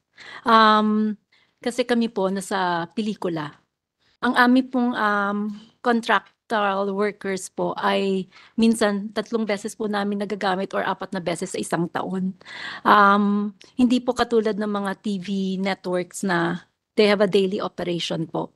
So, nag-submit po kami ng position paper with regards to our position po, with regards to the Senate Bill 460 and Senate Bill 450 po. Um, we submitted it uh, last week. Last week. So, we just want to have a clarification kasi how do we be, how can we be exempted from kasi we do give benefits every time we do have a project for accident insurance. And kaso po, yung mga contractual workers po namin, it's per project basis because they also work with another film company. So in that case, um, giving them, let's say, ano ba yung saan pa sila regular as far as Freelancer sila. Freelance sila. o freelancer talaga sila. As far as their social, you know, security benefits, mga ganun, iba-iba talaga nag employ sa kanila in any given period of time. And minsan po, nagkakasabay ang dalawang pelikula na pinapasukan nila. Lagari. Yes, naglalagari po. So, kaya the most that we could give is um, the accident insurance as far as our project is concerned. We comply with that. And also, we do have our safety officers and yung mga O- OSH and medical uh, medics on the set. Okay, Mr. Chair, makasingit. Ah, kapag ang inyong mga stuntman ah, nabalian o na ospital, eh of course walang mag-insure sa kanya dahil sa kanyang trabaho. Yan ba ay tinutulungan ninyo, tinutulungan ng TV network o ng, ng, ng, ng producer ng pelikula? Yes po, meron po kaming accident insurance on Kasama na po yung death benefits doon? sa accident insurance. Yes, kasama yon. Dapat kasama. Kasi Yeah. pinatumbling-tumbling niyo yung stuntman Yes. tapos ginawa niya tapos may nangyari. Hindi sagutin. Dapat sagutin niyo. Yes. Pati kahit na pag-hospitalization. Yes, we do. Okay, eh kahit na hangga, habang siya ay nasa ospital, hindi siya magtrabaho, dapat meron siyang benefits na tatanggap. Meron, wala. Um, Dapat meron. yan ang Kung wala, That's gawin yung meron. disability na po yun. Exactly. Kasi mga stuntman, hindi namang regular yan, di ba? Talent mga yan. Yeah, but we do get them from an agency. Hindi nga, kaya nga, alimbawa yung isang stuntman, pinatumbling-tumbling nyo, pinalundag nyo sa mataas na building, nabalian. Ah, ngayon, syempre, nabalian siya, nasa ospital siya for one month, hindi siya magtrabaho, makapagtrabaho. Dapat meron siya natatanggap na benefits hanggang habang siya nasa ospital. Unemployment benefits ang tawag noon. Meron ba? Um, disability insurance. uh, nga, meron. Don't have disability. Dapat you have, you should have. Kasi pinatumbling nyo siya, binigyan nyo siya ng instruction kung anong gagawin niya at para gumanda yung labas ng pelikula and yet, madisgrasya siya uh, at isang buwan siya sa hospital, nakatengat, hindi makapagtrabaho, iwan niyo sila sa ere. No. Dapat sagutin nyo rin yon. Total, kumikita naman yung pelikula nyo. Hindi na po nga. That's another thing that we need also to look at the economics of the movie industry right now. Um, so far po, since po after pandemic, ang Hindi nga po kasi kawawa nga po yung stuntman eh, di ba? Nag, na-disgrasya siya na hindi niya mang parehong hindi niyo kagustuhan both sides. Ngayon, isang buwan nga po siya. Yung sa example ko, isang buwan po siya nakatenga sa ospital o nasa bahay. So, breadwinner po siya. So, sa isang buwan na yon yung binayad niyo sa kanya na fee, eh, kinain na po nung nasa loob siya ng ospital. Ngayon, one month siya sa bahay, nagpapahinga, walang trabaho. Siya yung provider ng family. Saan siya kukuha ng kita? So, dapat doon kayo papasok sa eksena para i-provide yung gap na yon. Yes. You see what I'm saying? Yes, I know what you're saying din po. And also, we'd like also to seek the help of the agencies like Social Security or PhilHealth also in that point, wherein um, to educate also the independent contractors to be able to uh, enroll themselves into these benefits that are being offered by the government. But I do understand clearly where you're coming from, uh, Senator Tulfo. Thank you, ma'am. We'll take that Yeah, into I think, consideration. uh, Thank you po. Yes. Thank you po. Uh, if I may butt in, this is one of the topics that uh, we discussed during the dinner hosted by Senator Robin. I think this was brought out to me by one of the actors concerned. Uh, si, from GMA7, si Ruru Madrid. He intimated to me that uh, I think the stuntman, I think he's doing some action uh, scenes dun sa GMA7. Uh, I think he was more concerned about the plight of the stuntmen working under GMA. Not only maybe not only under GMA but uh, as a whole. Uh, he intimated to me the problem na wala yata mga insurance itong mga uh, stuntmen na ito and I think uh, we will tackle that when the time comes sa Eddie Garcia bill again probably next week. Okay? Hmm. Okay, any other uh, inputs with regard to the Media Workers uh, Welfare Act? So we can, ah, si ano, Mr. Generoso, ah, Alvaro of Centro. Yes, uh, Mr. Chair, uh, thank you for the opportunity to, opportunity to speak. No? Uh, we represent po uh, under Centro uh, workers in the public and private sector. Uh, sina Sir Generoso po ay miyembro po namin at yung mga manggagawa din po migrante sa kabila. So we are all over the place. Uh, gusto ko rin din pong balikan yung na- na-raise nga po earlier na comment ni Sir John no, regarding violence and harassment. Na in fact, uh, sa international level, the International Labor Organization has actually uh, pushed issued uh, a new convention, uh, Convention C190 or on uh, violence and harassment in the world of work. No, natitingnan po natin na mula sa perspektibo ng mga manggagawa na yung karahas- karahasan po ay hindi lang po siya necessarily physical. No, at na- napakahalaga din na tugunan at, at ma-recognize na harassment and the creation of a violent workplace can also happen using verbal, um, emotional, and even sexual violence. No? At ma- kaya napakahalaga rin po halimbawa na binigay din po ni Senator Tulfo for example, na yun po yung mga bagay na sa tingin ng mga manggagawa ay hindi po katanggap-tanggap sa kahit anong industriya, especially media. And pinapalala po nung ganong klaseng kultura, the culture of violence, yung existing precariousness po ng mga manggagawa. Eh. Imagine niyo po, ah, contractual ka na, wala ka security of tenure, tapos ganun pa yung kultura, yung kulturang nahaharap mo, magkamali ka lang na unti, na okay lang naman po ma-criticize, pero wag naman sanang nakakadurog ng dignidad. Kung ganun ang kultura mo, wala kang seguridad sa trabaho, paano ka magreklamo? No? So yun po yung isang isang bagay. Kaya po kami po sa sentro and sa NABO, isa po sa mga minumungkahi po natin sa pag-draft nitong media workers bill ay may strong provisions po tayo sana. One, on penalizing uh, harassment and violence in the industry. And second, nireiterate po namin, sang-ayon po kami sa punto ni Senator Tulfo na isang malaking problema po natin sa industriya yung contractualization, yung lack of security of tenure. Kaya gusto po sa inaasahan po sana namin na lumabas talaga sa bill na to among other things ay yung strong provisions on, security of tenure and the right to self-organization para may kapasidad at espasyo yung mga manggagawa natin na mai, mailaban ang kanilang mga karapatan at kanilang mga sarili. So ilan lang po to sa mga laman ng I'm sorry. Uh, did, did you submit a position paper, uh, Mr. Alvero? Ah, hindi pa po, ah, Mr. Chair, pero we will submit after this hearing. Thank you po. Uh, ganun din, mga seven working days? Kahit po mamaya na po, ready na po yung position paper. All your points are well taken and uh, I, I also agree with it. Mr. Dominguez, ano? Ah, Carlos Miguel Oñati po ulit from TUCP and tanggapan din po ni Deputy Speaker Mendoza. So the TUCP po ah, fully supports itong Media Workers Welfare Act. Lalo na po kasi nakapagpasa na rin po ng version yung House of Representatives po last year ng Media Workers Welfare Act. So inaasahan po namin, kagaya din po ng Eddie Garcia Bill na with the commitment po ng ating ah, chair na mapapasa din po sa, ah, within this 19 Congress po. Ah, kanina ho, ah, bagamat wala ho yatang representative dito, bukod ho dun sa private sector, ah, we load ho yung mga provisions po ng bills ni Senator Lapid, ni Mr. Chair, Senator Estrada, at ni Senator Bongo po regarding media workers po sa public sector. Meron po kasing provision doon na prioritize po yung government casuals and contractuals who rendered exemplary and outstanding service for appointment to regular plantilla positions. Ah, sapagkat we have long known po that there are in fact around 700,000 na job orders and contract of service po sa pamalaan whereas meron naman pong around 200,000 po na bakante budgeted yet uh, unfilled na plantilla positions.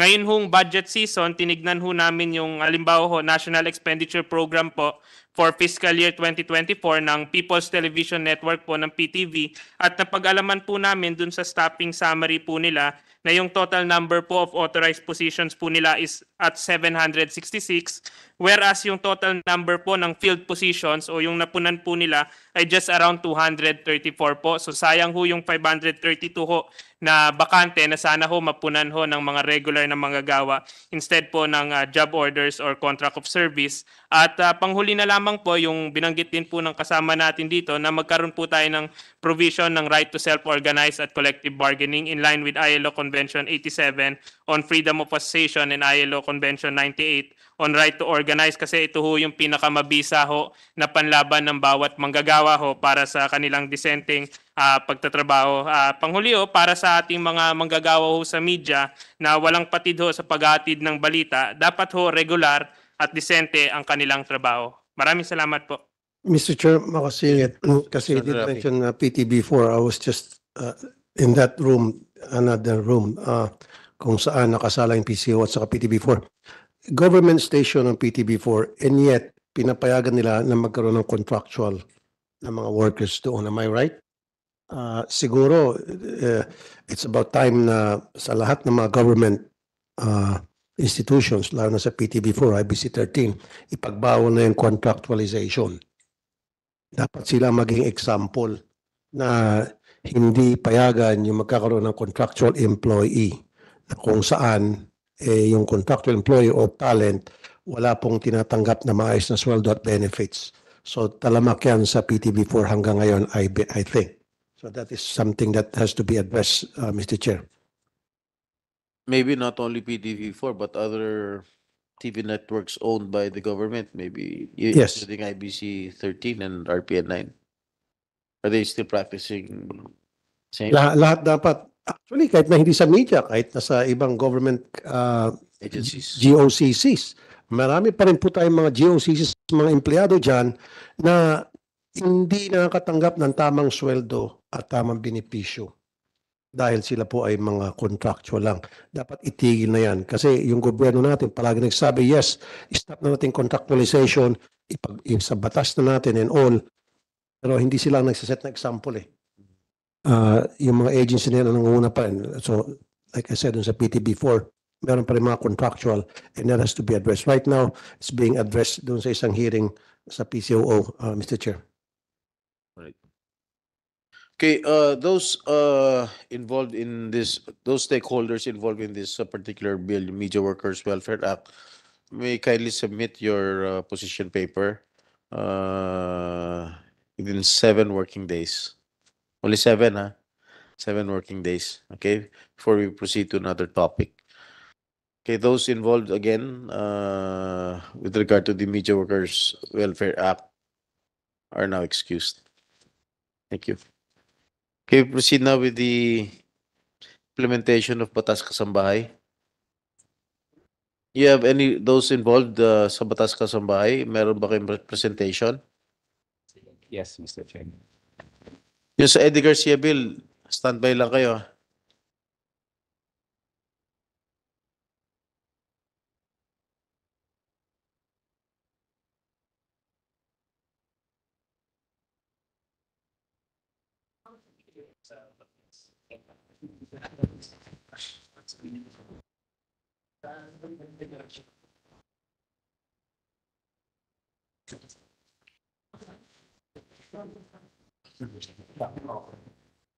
Kasali ang kasama dyan, doon ay mag-ibig.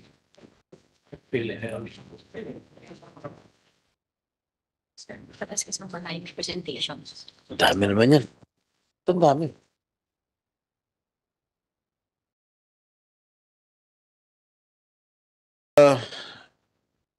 Do you have any ballpark figure kung ilan yung mga kasambahay, kasambahay registered?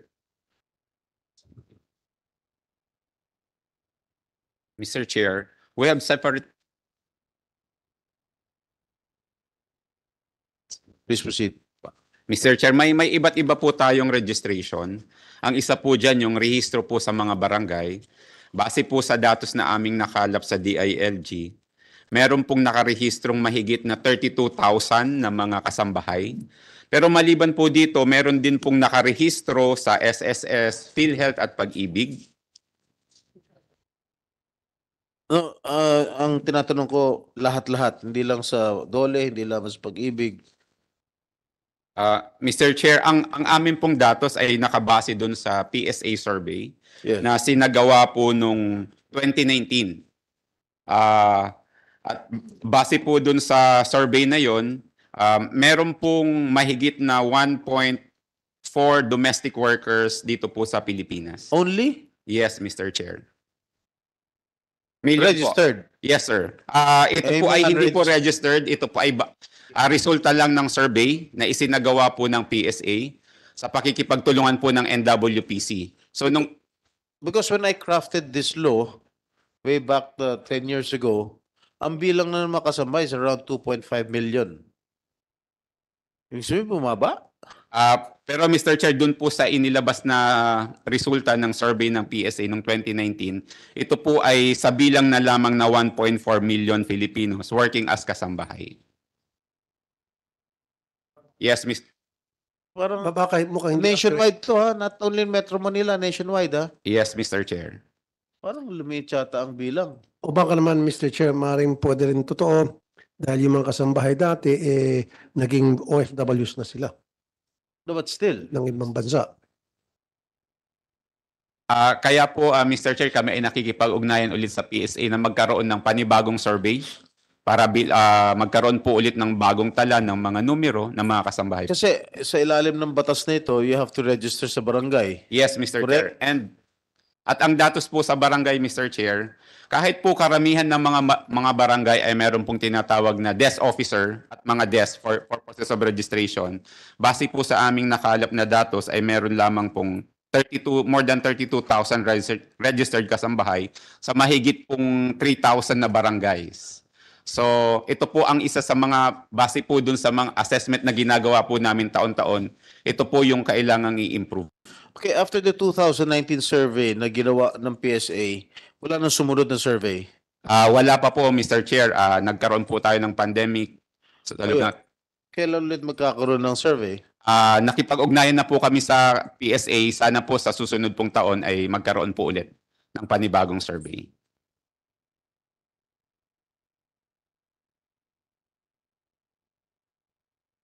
Okay, it says here na 1.4 million kasambahay and 72% are on live-out arrangement. Opo, kasi yung batas po natin pinapayagan yung ah, live-in o kaya live-out arrangement. Ibig po ang pagkakaiba lang po nun, ang kapag ang isang kasambahay ay ah, pinapayagang manahanan o manirahan po dun sa bahay na kanyang pinagsisilbihan, yun po ay mga Pero malaki itong porsyento mo na live-out Yes, arrangement. yes Mr. Chair. Bakit nagkaganon? Usually ang mga kasambahay live-in yan. Ah, pero yung yung datos po sir na lumalabas mas mas nakakarami po yung mga kasambahay na on a live out arrangement. Parang di yata ka panipaniwala yun. ah. Opo, kaya kaya nga po ah, ang Kasi eh, simula nung pinanganak ako, panay live-in yung aming mga kasambahay. Hindi naman umaalis yan. so ilan oras nagtatrabaho yung mga nag-live out arrangement? ah, Eight yun- hours din? Hin- hindi po depende po sa kontrata po 'yan. Ah, karaniwan po ay mga apat o walong oras lang naman po nagtatrabaho yung mga nasa live out arrangement. Ah, by the way, Mr. Chair, yung standard pong isinat po natin sa bas- ah, Batas Kasambahay ay nakabase po sa standard na hours of rest rather than hours of work. Kaya ang ang nasa batas po natin, dapat ang isang kasambahay ay mabigyan ng at least walong oras na pahinga. Kasi yun po yung yung standard na isinet po natin sa bat sa batas kasambahay na naaayon naman po sa international standards. Ah, yung mga marino po ganun din po yung ah, yung pamantayan ng pagsiset po ng standard when it comes to rest period or working hours po. Sa tingin mo ba mas magandang alternative ito kaysa sa live-in arrangement para maiwasan yung pagmamalitrato, pang-abuso sa mga kasambahay? Opo, maaari po ma- ah, Mr. Chair. Pero siguro mas tingnan po natin yung yung obligasyon ng mga employer na mag-irehistro yung kanilang mga kasambahay sa barangay. Kasi yung turnout po talaga ah, mababa po Mr. Kahit po ang lahat po ng halos lahat ng barangay meron pong tinatawag na desk officer. Meron mga desk pero yung mga employer nasa batas po obligasyon po ng employer na irehistro. But there, there has to be some factor that influence them not to register. Kaya even after uh, 10 years of implementation, mababa po yung turnout ng registration. Siguro yung tinutukoy mong uh, mga nagli-live out arrangement. Ah, then then yung mga tinutukoy mga 72%, tama? Yung mga yung sa live out arrangement mga kasambay. Siguro the uh, these are the employers who belong to the middle class income. Am I correct? Or lower class income? Kung- Usual, opo, uh, Mr. Chair, kasi ito po yung may kakayan. Auga, unang-una yung pag-hire po ng kasambahay, tinitingnan po namin dun sa aspetong kayang mag-hire ng isang pamilya ng kasambahay. So ito po yung mga nasa middle class and upper po. Hindi, kung upper, palagay ko. Mga ano po yun, ah, live-in naka, nakatira po Yeah, yung mga mas matataas na pong anta, ah, estado po ng buhay.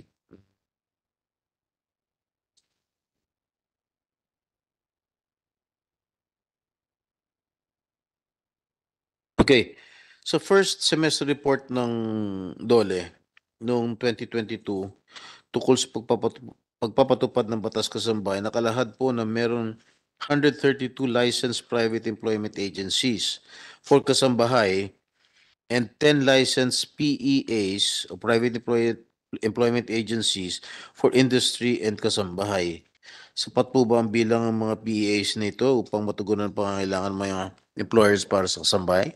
Ah, Mr. Chair, ang karanasan po natin ah, sa mga amo o mga gustong mag-hire po ng kasambahay, ah, mas preferred po nilang mode of hiring yung direct na pag-hire kaysa po idinadaan po sa mga Agency. ah, agency. Ganun pa man po, kahit konti lang po yung idinadaan sa mga agency, meron po tayong regulasyon, meron po tayong licensing system para po yung mga ahensya na ah, magre-recruit o magpi-place po ng mga kasambahay ay regulated po ng, ng Department of Labor and Employment. Pero again po, malaki pong bahagdan ah, ng aming nakitang datos ay ng mga kasambahay ay directly hired ng kanilang mga amo.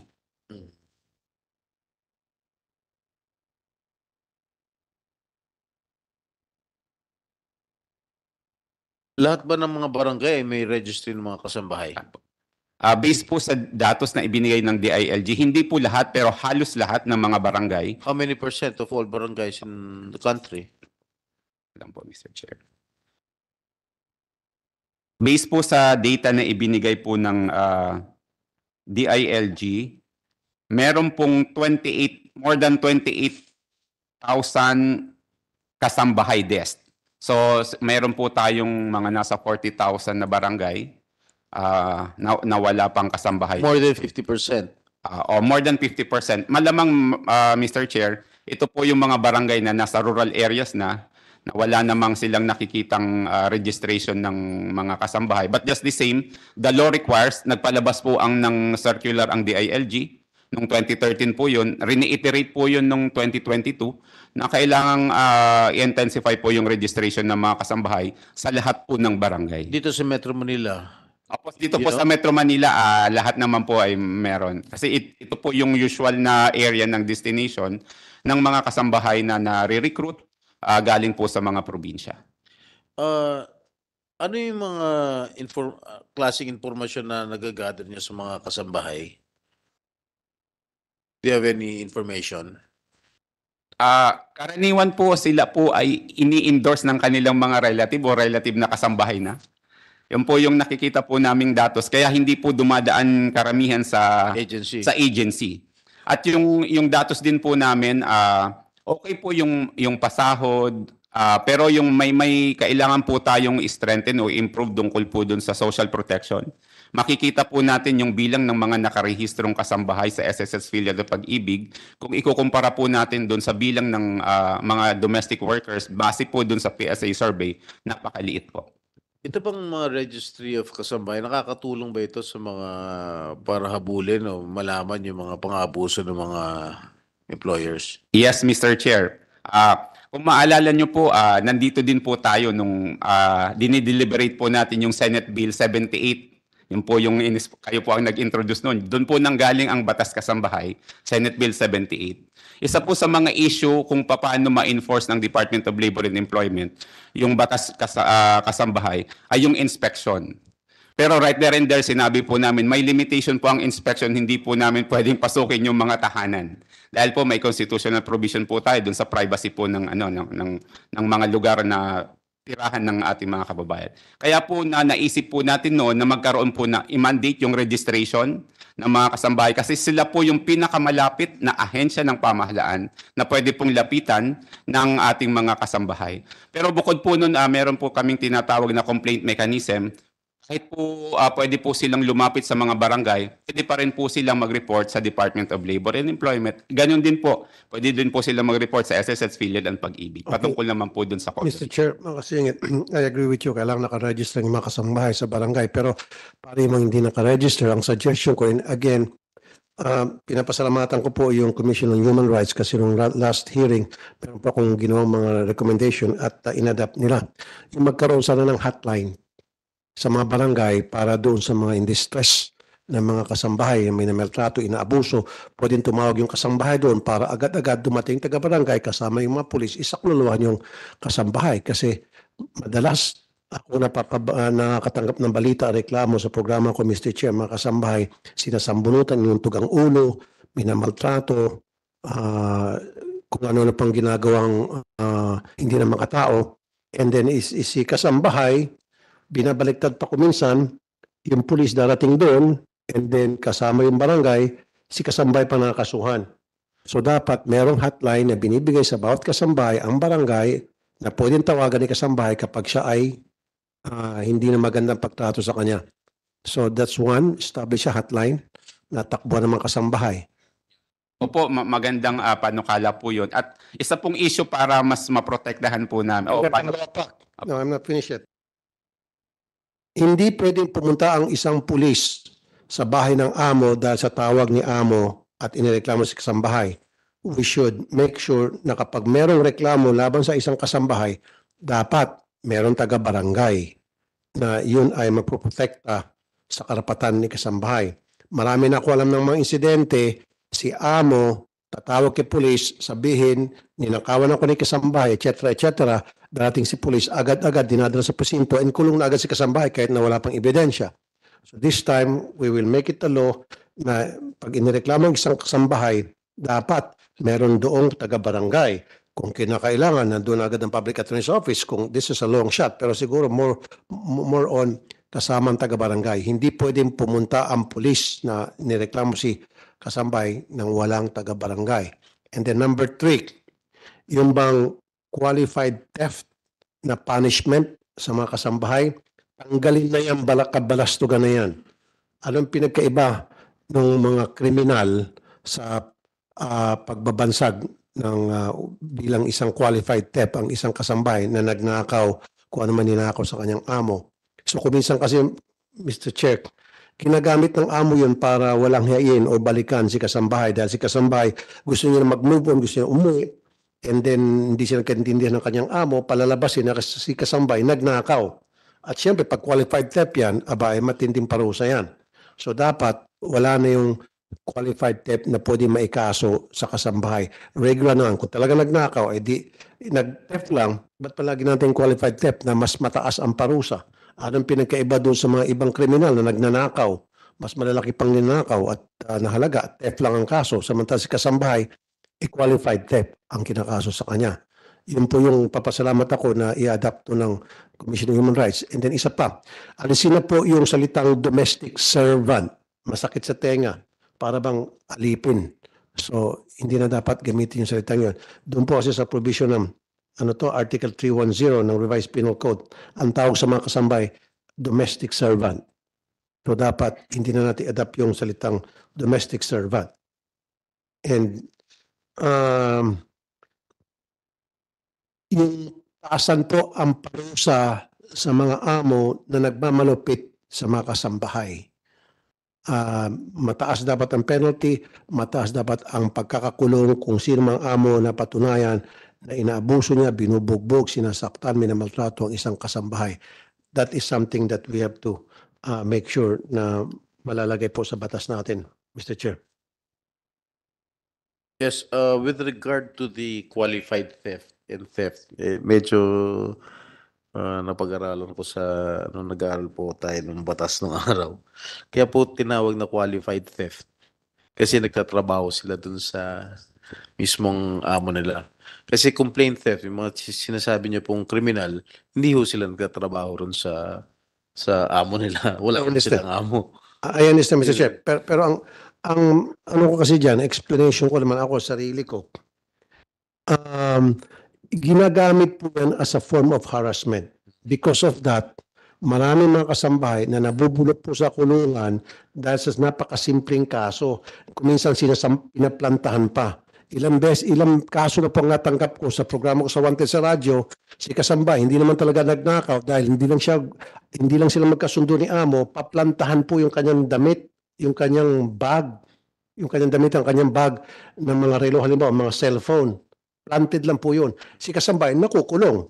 Dahil si mayaman, si Amo mayaman, oh, edi Qualified. qualified theft yun. At mataas na parusa. Just imagine na hi- hindi niya kinumit yung crime na yun at pinarusahan siya ng qualified theft. Di ba? I understand. oh. Maraming ganung insidente, uh, Mr. Chair. Si Amo at si Kasambay hindi nagkakasundo. O si Amo, sinaktan niya si Kasambay at si Kasambay magsusumbong na sa pulis dahil sa pananakit. Sasabihin ni Amo, pag nagsumbong ka, kakasuhan kita.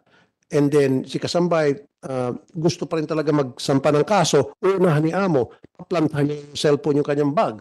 So tapos magpapatawag ng pulis si Kasambay, ay si, si Amo, si, si Kasambay, kulong na, nauna pa. May mga pasa, pasa na si Kasambahay, siya pa ang nakulong dahil dun sa qualified theft na yan. Yun yun. Nagagamit po yung kasong qualified theft against sa napakarami natin mga kasambahay. Yun po palaging ginagamit na armas, ammunition ng mga mapang-abusong amo na gusto maisahan si kasambahay. And then, it has also to be proven that that na ninako ni kasambahay na inintrust sa kanya. Siguro that's another factor na para matawag talagang qualified theft. Halimbawa, sinabi kasambay o kasambay, itong cellphone ito, I entrust it to you upon you to make sure na hindi mawawala ito, na alagaan mo to. Eh paano kung hindi in-entrust kasam kasambayan? Meron ko isang kaso, nawawala yung cellphone ng anak ni amo. Cellphone ng anak ni amo. So ngayon, ang nangyari, naging qualified theft. Ikinuha sa kasambahay. Malaman-laman lang later on na yung cellphone pala nung nawawala nung anak ng amo na misplaced lang nandun sa ilalim ng kama. Puro kasambahay. Qualified theft ang kinaso sa kanya. Yun po palagi ang ginagamit ng armas ng mga mapang-abusong amo na gusto mangharas ng kanilang kasambahay. So for me, it has to be changed. We will take note of uh, uh, your opinion and your inputs, uh, Senator Rafi. I- In due time, maybe we can uh, amend Siguro, some of the Mr. Chair. provisions. Kasi walang pinagkaiba yan. Pa- paano po yung mga ibang talagang magnanakaw? Talagang sinadya nila magnakaw. At talamak na magnanakaw. Test lang pwedeng ipaso sa kanila. Samantalang si kasambahay, eh kailangan qualified. Eh, ganun ba natin turingin yung palibasa yung maliit na tao? Eh, pitik-pitikin na lang natin at ah, g- gamitan natin ng ah, kaso. I'm not referring to the laws that Yeah, you guys passed, uh, Mr. Chair. I think it's about time that we have to revisit the law para maging ah, patas naman sa ating mga pobreng kasambahay na sila po ang nanilibrihan sa atin, day in and day out nandiyan sila para sa atin, magkasakit tayo, sila nagluto sa akin, sa atin, namamalengke, naglinis ng bahay. So dapat mabigyan sila ng fair treatment kapalit ng kanilang napakagandang serbisyo sa mga pamamahay natin. Salamat po, Mr. Chair. Thank you, Senator Rafi. PNP, meron na ba nag-violate ng batas kasambahay? Meron ba kayong mga datos na pwedeng ipresenta sa amin? Yes, uh, Mr. Chair, Your Honor, meron kaming data na for presentation po later.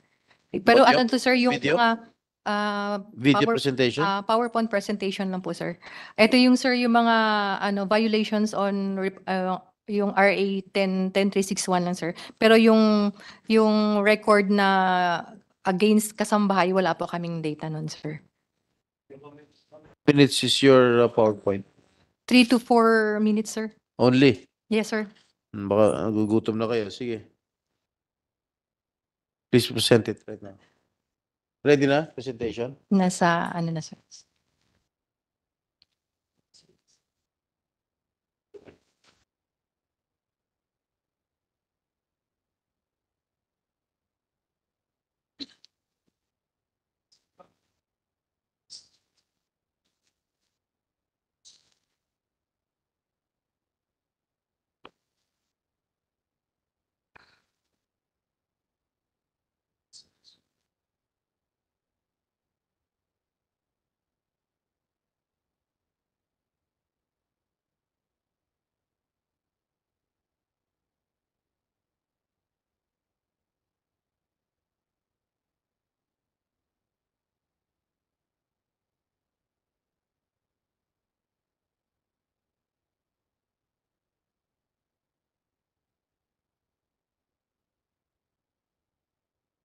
Ah, ito po yung PNP nationwide statistics on violation on RA 10 10361 otherwise otherwise known as the domestic workers handled by WCPC covering the period from 20, calendar year 2026 to September 15 of this year. So we have a total of uh 46 cases, sir. 46 cases. Uh, as of the data shown, the PNP has recorded 46 total number of, of violations uh, nationwide for the period from 2016 to September 2015. Ayun po yung, pwede pong pakilakihan kasi para, dun po sa, sa previous dito. slide, sa previous slide po, yung sa data on cases. Yung previous pa. Halos lahat sa NCR. Yes, sir. Sa NCR po ang may pinakamaraming reported cases, sir, na handled ng WCPC. So makita din dyan, sir, na as to the PNP regional offices, the top three with a significantly high recorded incident are NCRPO, bali 32 po out of 46. Region 10, 5 cases, and Region 7, 4 cases. We all know that these three regions also has the highest population nationwide, sir. Kaya, tsaka mga urban areas po, sir.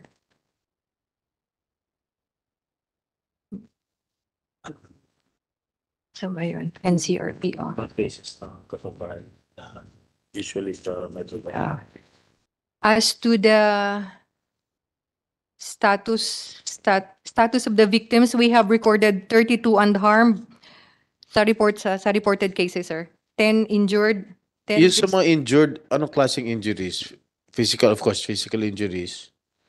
Ah. Kasama na ba ito yung ano, yung Sir, yung kay Ma'am, Ma'am LV. Ver- LV, sir, kasi hindi siya reported sa PNP, so hindi siya recorded sa SIRAS namin, sir, kasi nag-report siya sa NBI. Mr. Chair, makasingit. So, Colonel, itong record ninyo ay base doon sa pag-report ng kasambahay sa PNP. So, may mga kasambahay din kasi na nagre-report lang sa barangay at hindi na nakarating sa PNP. So, hindi included dito. Sir, hindi po included kasi ano yun po, yung, ah, yung lupo ng tagapamayapa muna sila, sir. Pero pero dapat dapat kasama rin 'yan, isama mo rin sila dahil victim din sila, violence victim sila ng pangkakarahasan ng kanilang amo. Dapat magtanong din kayo sa mga barangay. Mr. Chair, uh, uh, Your Honor, sir, ang ang kinikater lang namin yung wala, lumalapit lang po sa stations namin. Okay. Pero pero kung pag-uusapan natin ah, yung yung data tungkol sa pang-abuso at rescue ng barangay, siguro magkakaroon kayo ng hiwalayang data pero sabihin nyo, ito yung mga nag-report sa amin, ito yung mga hindi nag-report. Para magkaroon lang kayo ng data. Para ma- magkaroon, ma- makita natin the big picture tungkol doon sa mga pang-abuso against sa mga kasambahay natin. Na baka mamaya meron doon sa barangay na eh, gusto ng kasambahay na ipulso at sampahan ng kaso si si pulis na nandun kayo at nagipag-usap sa kanila, lalakas ang loob nila, sige, puso ko yan. Eh, hindi naman ako, ah, pinilita, pinilit lang ako ni Kagawad o ni Chairman makipag-ayos. Kasi kaibigan ni Chairman si Amo, ako yung kasambahay lamang. O pwedeng, because nakialam kayo at nakiusap kayo doon sa barangay, magbagong isip ni Kasambay, magsasampa pa ng kaso laban doon sa sobrang abusadong amo. Kasi there are so many instances, Mr. Chair, pagdating sa barangay, kuminsan, hindi naman lahat ng barangay, pinapanigan ni barangay chairman si Amo. Remember nung last hearing natin dito? Pinapanigan ng mga taga-barangay si Amo kasi si Amo meron silang pakinabang. Meron silang binipisyo. Kasam, kasambay, wala. Kaya palaging dihado si kasambahay.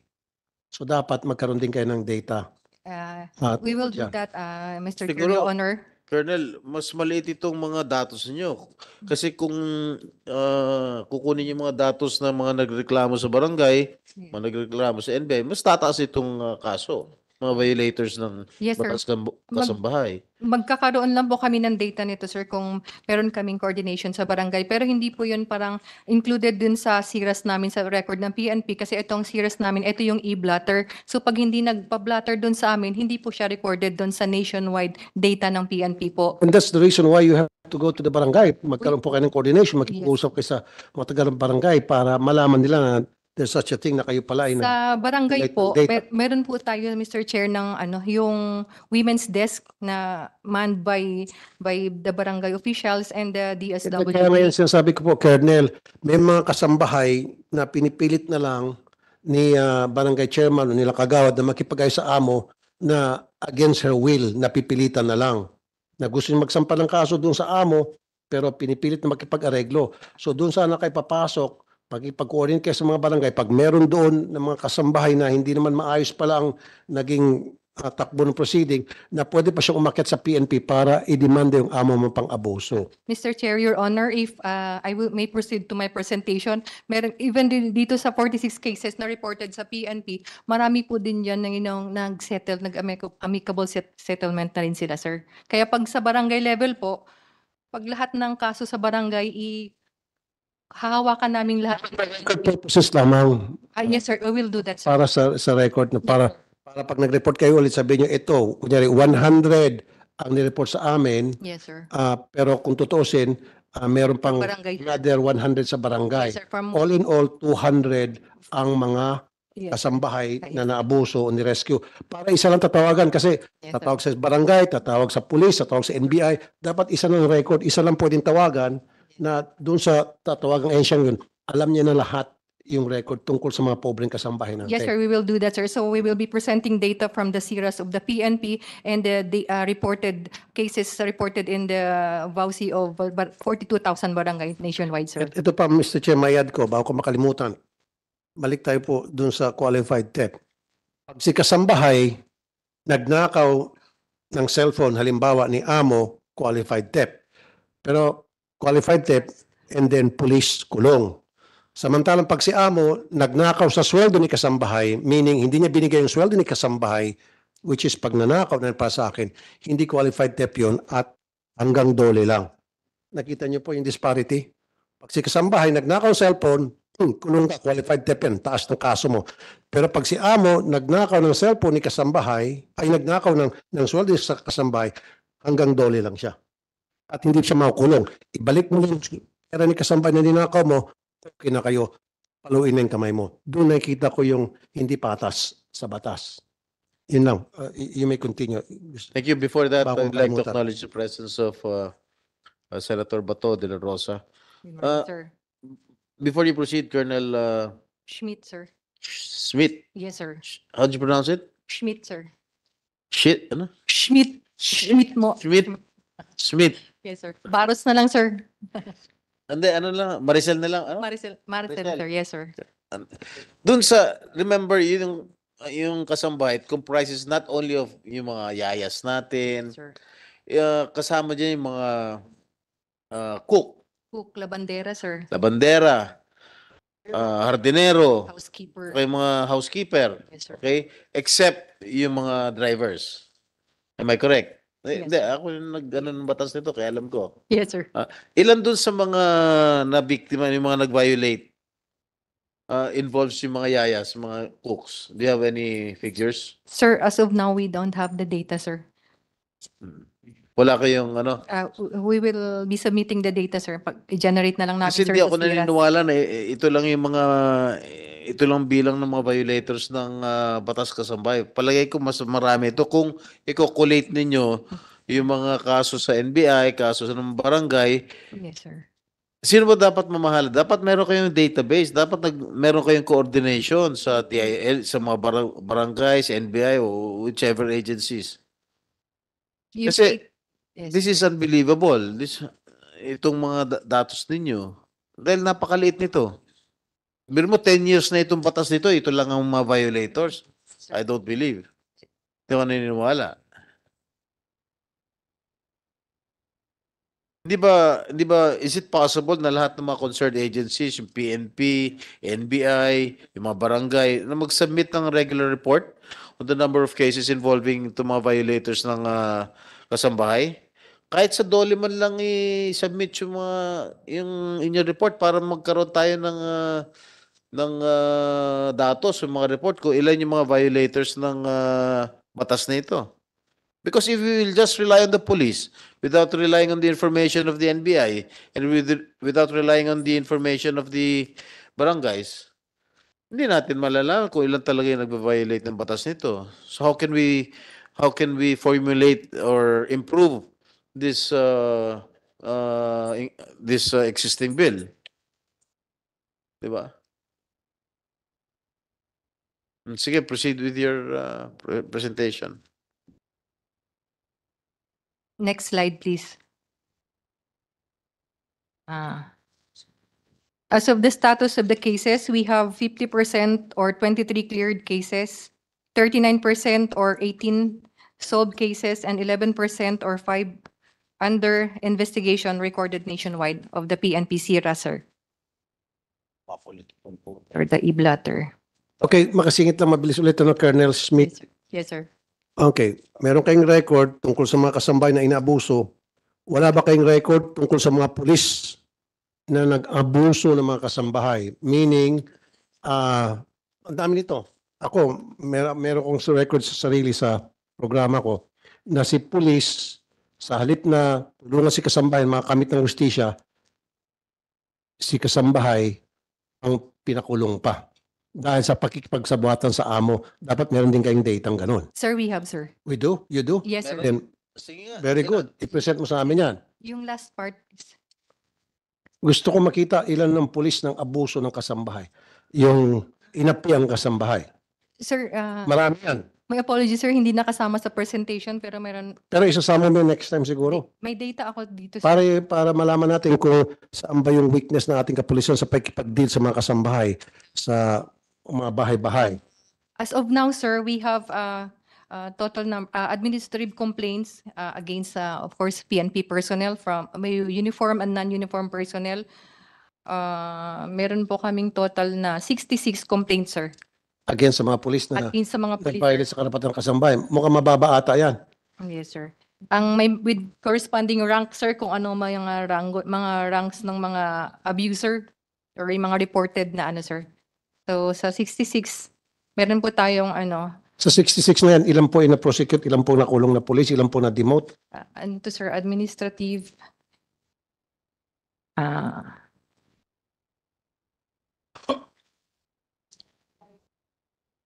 Nasa ano pa lang, sir, nasa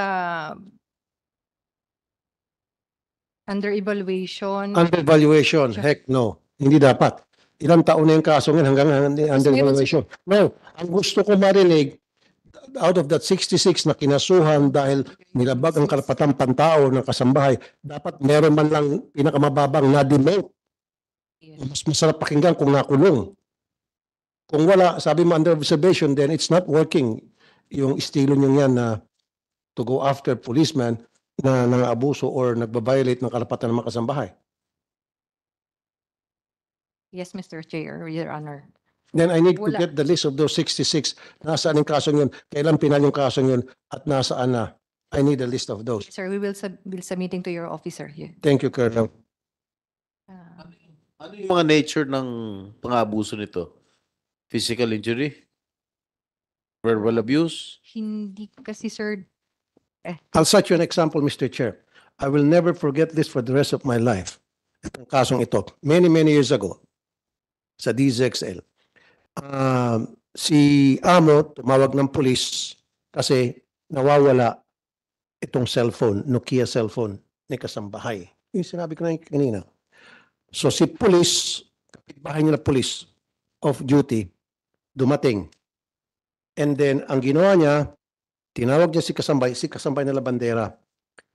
Pinaghubad-hubad niya sa loob ng banyo si kasambahay. Hinipu-hipuan pa. Pagkatapos, ah, paghubad-hubarin, ipu-ipuan, kinulong pa si kasambahay. Linantahan. Wala pong ebidensya.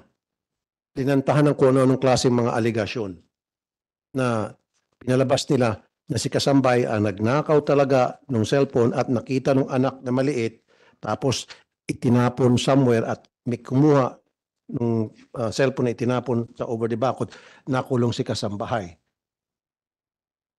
Kinulong ni pulis. Yun yung isang kabalastugan na ginawa ng isang pulis laban sa isang kasambahay. Kaya ang sinasabi ko kanina, noon, wala nang pulis pupunta sa bahay ni Amo dahil sa reklamo ni Amo tungkol sa kanyang kasambahay, kung ano man yung reklamo na yun, nang walang kasamang taga-barangay. Hindi na pwede yon. Kasi si pulis, eh, madali niyang mamaniobra at matwist yung reklamo, di ba? Laban sa kasambahay in favor of the complaining amo. yes, So, yes, sir. again, balik tayo dun, Madam ha. Yung, yung tanong ni, ni, ni ah, Mr. Chair, anong mga kaso ito? At very interested talaga ako, ano na nangyari sa kaso? Meron na bang na-demote? Meron na Sa bang dito nakulong? na dala ko ngayon, sir, meron na dato an ah ka- ah, drop and close 19 forwarded to to Dilos for summary hearing proceeding 43, sir. Drop, ano administrative- sabihin ng drop and close? Drop Mm. na ni kasamba yung kaso? Na drop and ano sir yung yung ano sir yung case filed sir ng ano ng kasambahay. Na-drop na? Yes, sir. What, what do you mean? Na-drop na? Si kasambay ang umatras, hindi niya pinapatuloy. Yes, baka nag ano, nag ano na sir nag nag-areglo na sir. Okay. Tapos ngayon itong 43 sir ano ah, for summary hearing proceedings para ma-determine kung mad, mad ano yung ano, Okay. penalty. Pero Pero yung, ah, yung, yung mga kasong yun, gaano na katagal na hawak po ninyo na inireklamo? Ilang taon na, ilang buwan, ilang, ilang dekada, ma'am? ito sir yung 2016 hanggang 2016, current ay present sir. 17, 18, 19, 20, 1, 2, 3. Seven years na, summary proceedings pa rin. Kasi kasambahay. Pero kung, kung yan ay mayaman na tao, ang nag-file against sa police, eh baka si police eh nasa Muntinlupa na. Pero dahil kasambahay ng kaso, summary proceedings pa rin sa kahit seven years na. Ah, isubmit ko na lang sir yung report namin sa updated na ano kung ano yung ah, yung mga na naging ano, naging penalty ng mga ano ah complaint Ang ng gusto ko po kasi marinig, Mr. Chair, meron na dapat nasampulan na pulis para makita na patas ang pulis na nasampulan na kabaro ninyo dahil ng abuso o gumawa ng ah, injustice laban sa isang kasambahay. Dapat merong na-demote man lang. But I doubt kung meron. We will submit Kasi report. kita mo, seven years na hanggang ngayon, summary proceedings pa rin. That has to be investigated. Di ba, lalo na kayo po ay taga ant- anti-violence against women and children, kasama po yung makasambahay. Dapat kayo mag-pursue doon, kayo mag-push Sabihin nyo, o mga kabaro, ano ba nangyari? Seven years na, wala pa rin ba tayong masampulan dyan para ma- mag- maging gwapo tayo sa media? We will do it, sir. We will. You'll do it. So, gusto ko next year, well, not what next year, in the next few days, magbigay kayo sa amin ng data kung ano yung pinaka-status na nitong mga summer proceedings na ito, nasaan na. Mas maganda kung mapakinggan kung meron po na demote dahil sa paggagawa ng injustice laban sa isang kasambahay. Kasi dito makikita natin na patas ang batas, ah, patas ang PNP. Kasi sabi ko kanina, ulitin ko for the second time, pero kung ang nagreklamo dyan ay mayaman na tao laban sa pang-abuso ng isang pulis o injustice na ginawa ng isang pulis sa isang mayaman tao, sigurado ako wala pa isang taon demoted o sibak at kulong pa si pulis. Dahil kasambahay, seven years, ten years pa siguro, hanggang sa madrap. You follow me po, Ma'am Colonel? I- I-review namin to yung mga cases na ito, sir. Thank you, uh, Colonel uh, Maricel. Uh, Mr. Chair, salamat po. Are you still going to proceed with your presentation? Uh, Kasi for me, uh, kung ako tatanungin, I will dispense with your representation kasi kukunti pa lang itong mga violators under your ano eh, y- yung mga d- datas na ibibigay mo sa amin. Gusto ko kasi yung lahat nationwide including the complaints coming from the NBI and the barangay. Yes, Mr. Chair, we will be including the next presentation, sir, from the barangay and from other law Makukuha enforcement nyo agencies. kaagad? We will coordinate, sir, kasi isa lang kami sa law enforcement agency, ang NBI, so we will coordinate, sir. Eh, sa barangay, Barangay, sir, we have to coordinate with the LGU, sir, nationwide. nationwide, sir, so Eh, dapat, may liga naman sila, liga ng mga barangay. Siguro you can ask the president of the liga ng barangay. Pero mga liga-liga yan eh. Mr. Chair, Yeah, Senator Bato. di ba yung data ng barangay, captured niya ng siras natin? hindi po, sir. Hindi, hindi siya captured? Yung siras natin, sir, yun yung e-blatter, kung ano lang po yung na-blatter sa stations nationwide, yun lang po yung ang data na naka-record sa ating siras. So, so far, wala kayong kinukulik na data from the barangay? Ah, as of Kanilang- now, sir, wala po. Wala talaga. Wala, sir. Even, sir, yung kaso nung kay Manang LV, wala po tayo sa, se- wala po yun sa siras natin, sir, kasi NBI po yung nag-report, sir, hindi sa police station natin.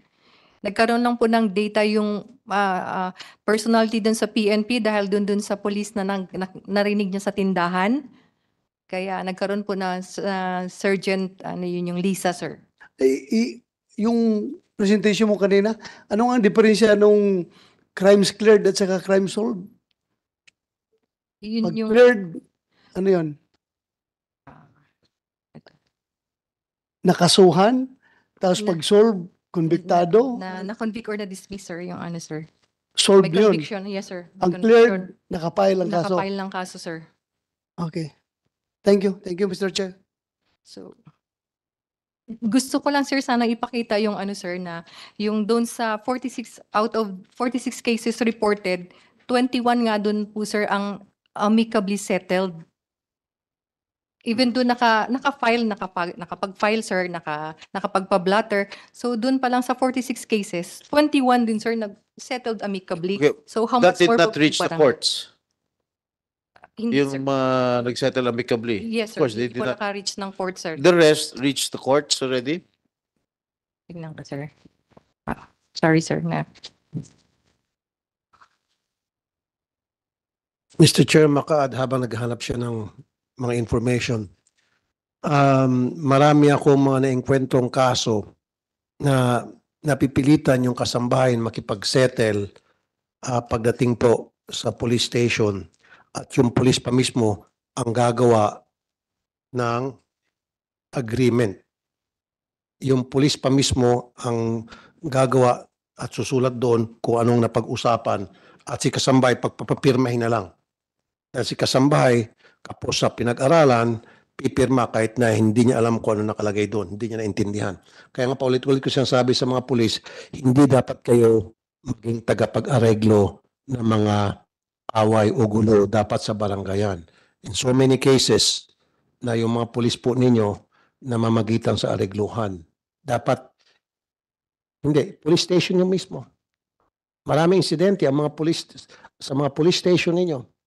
Yung mga police nyo, mga investigador ninyo, ang namamagitan sa aregluhan between the amo and the kasambahay. Hindi lang po sa amo kasambahay, maging sa mga motorista, uh, alam mo, driver o rider against dito sa kabanggaan niya mayaman na uh, may-ari ng sasakyan, etc. So yan I suggest ko sa inyo from now on, hindi dapat mamagitan sa aregluhan ang kapulisan ninyo sa lahat ng klaseng kaso. Pe- Pero siguro, Mr. Chair, Senator Tulfo, mas importante dyan yung siguruhin ng uh, polis na yung pamamagitan nila ay wala silang pinapaboran. Dapat gano'n. Kasi kung, minsan kasi, nagmamadali yung both parties. Naging station commander din ako eh. Mag, nagmamadali yung both parties, sir. Ayos na kami, sir. Wala na problema. Sigurado kayo. Okay na kayo. O sir, baka pwedeng ariglo na lang kami, sir. Eh, ganito na lang usapan. So, para to dispose sa with the case uh, right away, ganun ang ginagawa ng investigador. Nag- Agree. Amicably settle sila. Blatter doon. Hindi naman pipirma yun yung uh, aggrieved party doon sa police blatter kung talagang hindi siya satisfied. So, so in, in that case, I agree with you totally. Pero in that case, dapat merong present presence ng public attorney's office. Kasi kung puro police lang, napiprecious kasambahay, napipirma na lang, o kung sino man yung pini, ah, pinapakiusapan na makipag-areglo na lang. Kasi wala siyang representation eh. Kadalasan, humingi ng areglo yung offender na mas nakakataas. Pero nga- So, ngayon, itong isa na nagreklamo, mapipilitan na magpirma na, na wala naman siyang representation, hindi niya alam kung ano pa yung mga karapatan niya. Yeah, I agree. Uh, ibang usapan yun kapag napilitan. Iba, iba talaga usapan yun pag napilitan. Sana yung pulis rin, konsensya rin yung pulis na gumagawa ng ganun, na ag- agrabyado pa yung isa, napipilitan lang dahil nga sa ginagawa ng pulis na tumutulong doon sa isang side. Kaya nga sabi ko, mas maganda sana kung talagang nasa gitna ang pulis, no? Wag, wag talaga siya mag-side. Y- yun lang sa akin kasi kung kung ah, kung ah, minsan para bang disservice din diyan sa complainant, both parties kapag, Sir, reglo na kami, sir, okay na kami, sir, mag-uwi na kami, baka pwedeng ipirma na kami dyan. Sabi ng pulis, hindi, hindi kami pwede mag-reglo sa inyo, dahil bawal yan. Uh, sabihin rin na, ano ba itong pulis na ito, hindi mo kaya aksyonan yung aming uh, napagkasunduan, di ba? Ganon din Tama. nangyari minsan. Tama, Mr. But Chair. I agree with you. Dapat Tama. talaga walang siniside. Pero, pero in that case, with the presence of the public attorney's office, parang lumitaw, kasama yung public attorney's office sa aregluhan. So, yung attorney's public, yung PAO representing doon sa naagrabyado, ang kasama sa pamamag na, na magitan na para hindi po ah, maging dehado yung kasambahay kung sino man yung mas mababa na nagreklamo against doon sa kanyang inireklamo. Mr. Chair, if I may, sir. Go ahead. Ah, kagaya sir sa mga mga liblib na barangay o sa probinsya kagaya sa amin sa Capiz, ang mga kasambahay dun sir kadalasan kakilala within the barangay or next barangay din or kamag-anak. So minsan nag-uusap na rin yung pamilya sir na hindi na magpa-file ng kaso. Kaya I think sir na hindi na rin kailangan ng lawyer kasi nag, kung ang pamilya na sir nag-decide yung mga matatanda na dun sa probinsya lalo na kayo na nasisettle na yun sir yung issue nila sir dun sa Lupon. Colonel, uh, yeah, I agree with you. Sa probinsya, bibihira po yung mga pang-abuso lamang sa kasambahay. I'm talking about the urban areas sa mga syudad na kung saan walang representation sa kasambahay, wala siya mga kilala, wala siya mga kamag-anak, wala siya mga kaibigan kasi nga po galing siya sa liblib na probinsya at, at uh, lumuwas na Manila at doon nagtrabaho o lumuwas ng syudad kung saan man syudad yan. So doon kayo mag-focus. Tama ka, doon sa mga liblib na lugar dahil sila-sila magkakilala, kilala si barangay chairman, si Kagawad, at nirefer ng mga kamag-anak, si Amo, ah, madali na makumbinsi kasambahay na i-withdraw o makipag-ayos na lang. Pero pagdating sa mga syudad, dito yung sinasabi ko na napiprecious kasambahay, wala siyang proper representation. So pagdating sa aregluhan, dapat si kasambahay may representation. Yes, sir. Yung mga kasambahay po kasi dito sa Manila, galing din sa mga probinsya. So, ah, ultimo po pamasahe nila minsan, pinoproblema din nila. So, wala silang capacity ni maghanap ng kung sino malalapitan. Wala nga silang pamasahe, sir, sa jeep. So, kung tatawag yung makipag-areglo dun sa pamilya para kung hindi naman ganun ka-severe yung ano kung kung kung hindi violent sir ang ano ba hindi ba pang-aabuso na physical ah, kaya siguro nag nag ano na lang si sir nag nagsisettle na lang sir sa level nila Pag halimbawa may pumuntang kasambahay sa pulis, kunyari, hindi siya pumunta sa barangay, dumiretso sa pulis. May mga ganong insidente, di ba? Dumiretso sa inyong kasambahay. And then, ah, dumating si amo and then nagkaaregluhan. Sabihin natin na ipumayag na si Kasambay makipag-areglo kay amo. Pero dapat meron siyang representation para bago siya papirmahin, magpapaintindi sa kanya na ito yung pinipirmahan mo. Dapat hindi police. Dapat tagalabas. Sasabi ko, public trust office, tatawag kayo. Kasi may mga public trust office, naka-duty naman yan, 24-7 yan sila eh. Kasi naman yung patawag nyo, o in 30 minutes, nandito na si public trust office, explain yung aregluhan o yung napag-usapan, babasahin ni attorneys ni public trust office, ikwento kay kasambahay. Yun yun eh, kasi marami sa mga kasambahay, kapos sa pinag-aralan, galing probinsya, hindi nila alam yung mga karapatan nila na dapat meron pa silang ah, ah, ma- matanggap na mas maayos na treatment doon sa agreement na yun.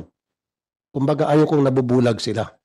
Marami kasi mga kasambahay, pumipirma na lang na hindi nila alam na yung pagpipirma nila, dihadong-dihado sila. Na, nagas niyo po, Colonel? Ma'am? Yes, sir, na, Thank na, ano, na-note ko na po, sir. Thank you. Colonel Maricel, ay, meron bang Yes, mga kaso dyan sa mga violators na kasambahay yung mga hindi sinasweldohan? O panay physical, abu- physical abuse lang? Ah, Kasi merong Me- meron po, sir. nakaroon sa batas na yon. Yung Yun sa sir, Metro Manila, meron sila makuha ng ganitong sweldo sa ibang regions, iba't ibang Eh, sir, sweldo. most of the cases are due to underpayment, sir. Ito, sir. Underpayment? Underpayment, sir. Ang underpayment natin, sir, na record is 17 out of, ah, ah, underpayment, misunderstanding, and incomplete SSS payment, etc. So 17, sir, out of 46. Underpayment, mostly sir. Metro Manila? Uh, underpayment, sir, is nine in NCRPO, sir. And Region 1, isa, sir, isang kaso. Region 5, isa. Uh, Region 6, isa din. Magkano Region ba 7. minimum wage natin? 710? Ah, M- Mr. Chair, meron po tayong ibang minimum wage rate na applicable sa kasambahay. Sa NCR po, ah, after three series of increases, tayo, tayo po ay may 6,000 na pong ano, minimum wage rate para po sa mga kasambahay dito sa National Capital Region. Hmm. At iba-iba po yung minimum wage rate sa iba't ibang bahagi po ng Pilipinas. Sa car po, may 400, ah, 4,500 sa Region 1, ah, 5,000, Region 2, 5,000. So, dun sa underpaid, magkano, magkano lang binabayad ng amo nila sa kasambahay? Wala pa akong record data ngayon. Pero as experience kasi, sir, sa Underpaid, amin, eh, I assume that's less than 6,000 pesos. Sir, sa sa Region 6 po, sa Iloilo at sa Capiz, before po yung before po nagkaroon ng 4 piece, ang kasambahay po is 5,000. Ngayon nasa 8,000 na po ang sweldo ng kasambahay. Sa region 6, sir. Ha? Iloilo. Region 6, sir. Iloilo. Region 6. Kasi wala na pong makuhang katulong ngayon, sir. Kahit 12 nga, sir, pinapapatulan 6, namin. ano ba yan? Panay? Panay Island, sir. Panay Panay. Negro, sir. Bacolod, ah, Iloilo, Gimara. 8,000 na yung pinakamababa. Yes, sir. May 12 pa nga po. Mas Hanggang- mataas pa sa Metro Manila. Kasi wala na, sir, makuha, sir, eh. Mr. Chair, Yes. pwede matanong kay Yusek uh, Yes, Mr. Chair. Binavides? Yes, Mr. Chair. How about 4A? Ah, Sa 4A ako nakatira eh. Ting- Baka, four- baka, mali, maya- mali yung sweldo ko sa... Opo. sa ko. Magkano sa 4A? Sa, sa, sa 4A po, may dalawa pong rates po tayo. Ang una po para sa mga cities at first-class municipalities, 5,000. Doon po sa rest of the municipalities, 4,000. Pero, Mr. Chair, ito po yung minimum wage rate. Hindi po ito yung average wage rate sa isang region kasi yun po ay dinidikta ng market. Katulad po nung sinabi po ng ating kasamaan sa PNP, sa kanila 8,000 na. Kasi 6,000, sir, 200 ba per More day than- po, eh. Or above the minimum wage. So, Correct? sin, opo, sineset lang po natin yung minimum wage rate but there is no bar or prohibition between the parties Yes. to stipulate for a Internal higher wage agreement rate. na lang yun. Kung Opo, gusto ng opo. amo na mas mataas ang sweldo ng kasambahay. Tama po. Mr. Correct? Chair, Yes, Mr. therefore, ako ang complainant ngayon. Overpayment pala ako. 10,000 yung sweldo ko ng katulong ko eh. Taga 12 Ah. Mr. Ito lang, 4A. Uh, uh, 5,000 po. 5 o 10 yung 5,000 binibigay ko. So, overpayment ako. Do- doble binibigay mo. Uh, Mali- Mr. Chair, mali- na- napakabait pong ano, amo ng ating uh, member. Yeah, pero More blessings to come to you. let, let's face reality. Well, 5,000. Ano ba naman mabibili mo sa 5,000 or even 6,000 dito sa Metro Manila because of the uh, uh, uh, high prices of uh, basic commodities. Ano lang mabibili mo? Papadala pa ng pera sa probinsya yan. 6,000 pesos. Eh wala ka naman ma... Wala natitira sa'yo. Di ba? So, it is between agreement of the employer and the kasambahay. Kung talagang, at palagay ko naman dito sa Metro Manila, hindi naman nasusunod itong 6,000. Mas mataas siguro sa 6,000 to. Majority of uh, yung mga employers ay hindi naman 6,000 na binibigay. Am I correct? Do you agree with me?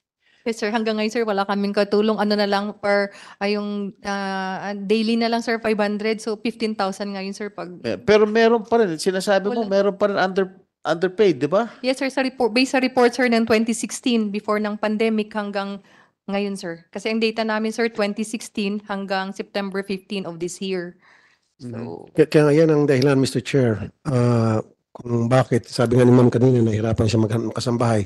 Marami sa mga kasambahay ay ah, nag-abroad na, kaya nga bumaba yung data nila sa kasambahay. Pero meron lang akong quick question. Ah, nasaan yung SSS dito? Ibig nandito na SSS. Ah, PhilHealth nasaan? Okay. Sabi ni Yusek Benavides, sa record nila, registered na kasambahay is 84,190. Ano, sorry, sorry, sorry. 1.4 million. Tama? Registered kasambahay, 1.4 million. Ah, ano po sir, kasambahay, not necessarily registered. Ah, yun lang po yung lumabas po. Regardless, registered o hindi, ah, 1.4. 1.4 ah, kasambahay. Okay. Sabi ni SSS, sa data nila, ang kasambahay na may SSS is 84,190. That's only 6%. Saan si SSS? Yes. Yes. That's only uh, 6%. Yes, Your Honor. Yes. Oh, and then si PhilHealth, mas matindi pa. 74,858 lang, which is 5%. Ang pinakamatindi si Pag-ibig. Re, uh, 51,579 na out of sinasabi nila 1.4 million na kasambay, registered or not, lumilitaw na 3.6% lang ang compliance. Anong ginagawa niyong tatlong agency kayo? Wala ba kayong monitoring? Hindi ba kayo nagpag-ugnayan sa kanila para masiguro lahat ng kasambay na na registered sa kanila, eh, masiguro na meron silang full benefits. Di po ba? Ano nangyari? Umpisa natin sa pinakamababa, pag-ibig. Pag-ibig, 3.6%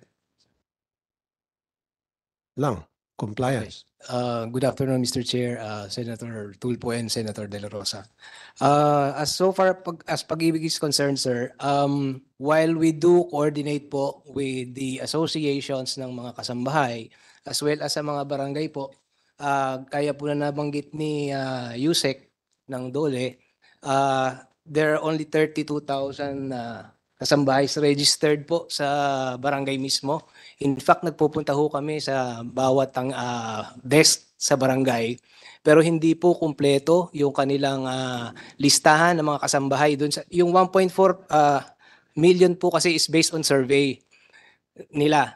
Ah, yung nasa barangay sa listahan is just 32,000 based po sa report ng DOLE. 32,000 lang mga kasambay registered all over the Philippines? ang report po ng ah, DOLE. Mr. Chair, yun po yung report na nakalap natin sa mga barangay sa sa pamamagitan po ng DILG, 32,000 Then, sorry, sorry, Yu- Yusek, then incompetent yung mga taong ninyo na gumagawa ng survey. Alam naman natin lahat, halos lahat ng bahay, lahat ng household sa Metro Manila may mga kasambahay. And yet, 34,000 lang nationwide ang registered. Then you, you guys are not doing enough. So, para mare- magamit yung registry uh, system natin. Opo. At Bakit kayo naglagay ng registry system na wala naman palang gumagamit yan? So, mahina kayo sa implementasyon. Ah, kaya nga po yung kaninang nabanggit ko, ah, ito po yung isa sa mga bahagi na kailangan pa po ng improvement kasi ang obligasyon po to register sa mga barangay ay nakaatang po sa sa mga employer. So, katulad po nung nabanggit ko kanina, baka may And in that case, let me cut you short. In that case, si barangay mag-house to house na lang. Kakatok, ilan bang kasambahay nyo dyan? Di ba? Sabihin, o tatlo sa amin, o tatlo, sige, bigyan nyo po yung mga pangalan.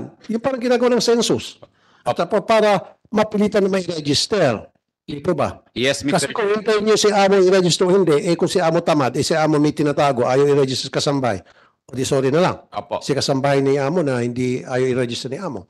Tama po yun. Actually, ka- ka- ah, in fact, Mr. Chair, nung unang dalawang taon ng implementation ng kasambahay, ah, halos naikot po namin, ako po in particular, naikot po namin yung mga barangay at subdivision po dito sa Manila para magkaroon po kami ng mga advocacy campaign para po ah, inform yung mga kasambahay at yung kanilang mga employer yung pangangailangan pong i-register sila sa mga barangay. How do you inform the amo? You go house to house? Ano po, nagsaset po kami ng mga town hall orientation or meeting sa isa pong subdivision o sa isang barangay hall. Or why, sub- why subdivision? So, namimili kayo. Lahat po, ah, mga barangay, subdivision, kasi karamihan po ng ah, nakita po namin sa datos, Hindi nga po, I'll tell you what, turuan kita sir, ha? turuan kita.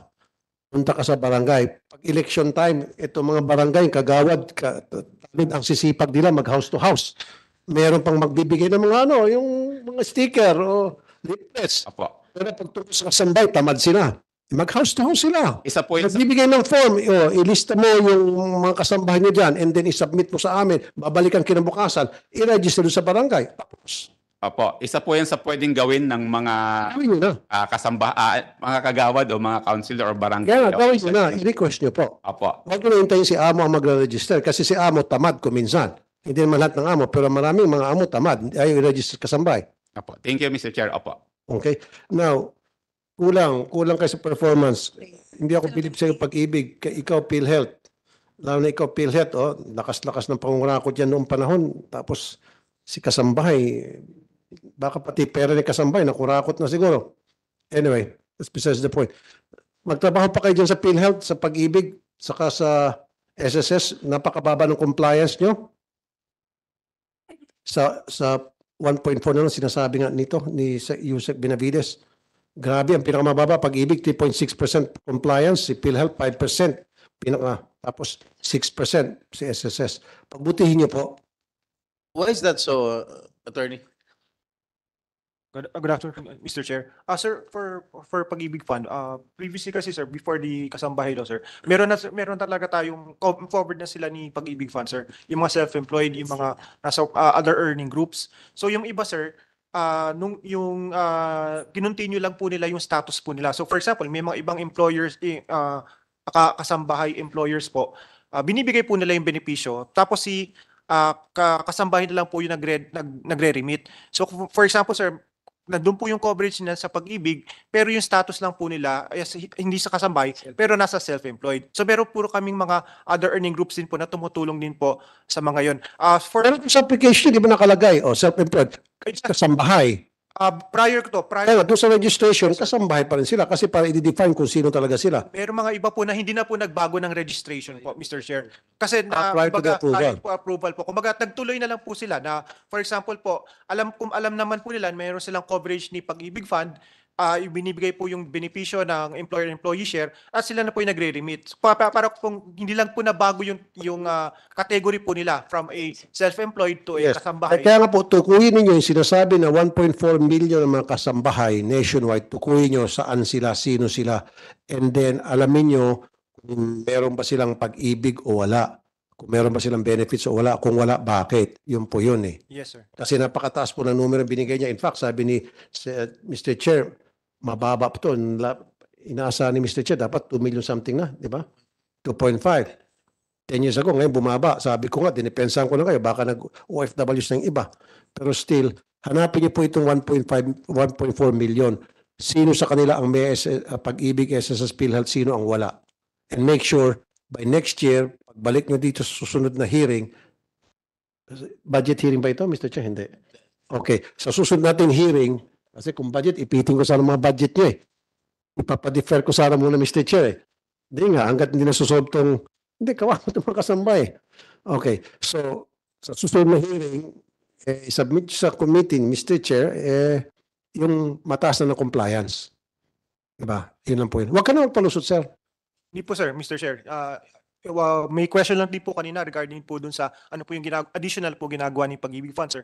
So for enforcement po, Mr. Chair, ah, lahat po nung 107 branches po namin ng ah, Pag-ibig Fund, meron po yung mga complaints desk. So for example po, personally, meron po kaming mga na-receive na complaints regarding mga kasambahay po. So immediately po, nagpapadala po kami ng notice of coverage. And immediately po, kung hindi po na-settle, ah, ang legal department po ni Pag-ibig Fund ay gumagawa po ng mga actions para po I'll, I'll makasukat. tell you what. Kayong tatlo, pag-ibig, PhilHealth, SSS, join forces kayo, pumunta kayo sa barangay, may dala kayo mga form at ibibigay bahay to bahay, bigay kila chairman, and mag house to house yung mga taga-barangay, isumiti yung form ninyo ng tatlo na kayong doon. Anong pangalan mo? Ikaw ba may SSS? May pag-ibig ka ba? Wala. Isasagutin niya, no. Pag no, then yan yung tututukan nyo na para masiguro magkaroon na siya. Yes, Kung yes, sino may Mr. Chair. kasama. In Mag addition- house to house na. Yup, opo. Ah, in addition po sa mga barangay po, nagbibigay po kami ng mga forms din po. Nakikipag-coordinate din po kami sa mga ah, yung mga subdivision homeowners association po para po mapabi- mabigyan po kagad ah, yung mga association, may mga ready forms na po sila. So for example po, merong isang resident na isang subdivision, usually nire-register po dun sa association nila yung kasam yung mga ka- bagong kasambahay para makukuha po ng ah, ID po dun sa subdivision. So pagbigay pag ah, apply po nila na pag na pag-endorse po ng kasambahay as a na as a kasambahay po ng ganitong resident, bibigyan na po kagad may ready forms na po si ah, association para po si ah, makapag register na po sila kay ISS. Ito yung sa mga homeowners association. Pero yung mga hindi kasama sa subdivision, mas marami ito. Yes, Yung wala subdivision. Yun, tatargetin nyo. Yun siguro mababa ang compliance. Mari sa subdivision, mataas ang compliance dahil karamihan dyan, eh, mga katao siguro at monitored sila. May homeowners association. Madali sila matukoy. Doon sa mga hindi kasama sa mga subdivision. Yun yung tatargetin yung sunod. Siguro dyan yung mataas na hindi compliance sila. Yes, sir. Hindi sila Yung compliant. earn- earning groups po namin po, nakikipagtulungan po sa mga So siguro, next time, taas-taasan nyo ng compliance ninyo para sa mga kasambahay. Pwede? Yes, Mr. Chair. Pag-ibig, PhilHealth, SSS. Yun lang po, Mr. Chair. Salamat po, Mr. Chair. Thank you, Senator Rafi. Uh, Senator Bato, Yes, uh, i- itong yung nandito section 38 ng kasambahay law. Information program. The DOLE shall in coordination with the DILG, the SSS, PhilHealth, Pag-ibig shall develop and implement a continuous information dissemination program on the provisions of this act, both at the national and local level, immediately after the enactment of this law. And after the enactment of this law, 10 years after, ganun pa rin ang uh, level ng registration natin. So, ibig sabihin, baka may pagkukulang kayo dito as para sa section na third party is. Mr. Chair, if I may. Uh, actually, tuloy-tuloy po natin ginagawa yung information campaign natin. Uh, nung nakalipas pong sampung taon, nakapagsagawa po tayo ng uh, 4,512 orientation at uh, seminar po sa iba't iba pong stakeholder uh, patungkol po sa implementation po ng kasambahay. Kasama po doon yung mga employers, workers, local government units, mga peso representative at iba pang stakeholders po sa ah, para po ma-implement po natin yung batas kasambahay. So, sa tingin ninyo, saan ang Well, problema? Bakit mababa pa rin yung turnout ng uh, yeah, basic doon po yun sa Para i-amend natin itong batas na ito kung Opo. kailangan. Opo. M- meron pong isang kailangan po tayong tingnan, ah, yung yung pagdidesisyon po ng isang employer na irehistro o hindi. Kasi kahit po alam niya, if he or she decides not to register, hindi po siya makakapasok sa SSS affiliate or pag-ibig. Ganon din po sa Ganon din po sa mga barangay. Kaya ah, Mr. Chair, it's imperative that ah, we, we revisit po yung yung registration ng kasambahay. Ah, ano ba yung kailangan nat ano ba yung ini-expect talaga natin sa mga employer? Yes, they may have this kasambahay, but after 10 years of uh, implementation, they decide not to register theirs or their kasambahay. Ba- baka kasi very fluid kasi yung situation sa baba. Opo. May kasambahay na hanggang two months lang. Tama po 'yon. Kaya O three months. Opo. So, uh, tingin rin siguro ng uh, employer, eh, useless mag-register ako ngayon. Ba, after next month, mawala na naman ito. So, every time magpalit ako ng, uh, ng uh, kasambahay, balik ka ng balik ako doon para magparehistro. Baka ganun rin Yes. titingnan nila. Mr. Chair, uh, I think the data would confirm that. Kasi uh, yung malaking bahagdan po ng mga kasambahay ay on live-out arrangement. Ah, pero ganun pa man, kailangan po silang irehistro. Siguro ang isa sa mga pwede po natin gawin, mas padaliin yung proseso ng pagrerehistro ah, sa mga barangay. Ah, we, we make the access easier, not only for the kasambahay, but also for the employers to register po sa mga barangay. Yan. Ms. uh, Grace Fortuno. Um, Mr. Chairman, Your Honor, uh, can I read my opening message? Okay. Um, I'm great, uh, about five minutes, Mr. Chairman. All right, so, Mr. Chairman, Your Honor, distinguished members of the committee, good morning. I'm Gracie Son Portuno, the president of the Association of Licensed Private Employment Agencies of the Philippines, or ALPEAP, whose members are all licensed private employment agencies by the Department of Labor, or DOLE. A private employment agency, or PEA, is basically a headhunter or facilitator that recruits local domestic workers and other industry workers. These workers were deployed through job orders and placement from the employers. PEA is different from labor contracting agency, such as janitorial or security agencies, where the janitorial or security agency is the direct employer of the worker. These workers usually work for 8 to 12 hours, depending on the agreement and as a leave-out basis. While License PEA facilitates only the recruitment and placement of domestic workers and other industry workers in consideration of the rules and regulation by DOLE.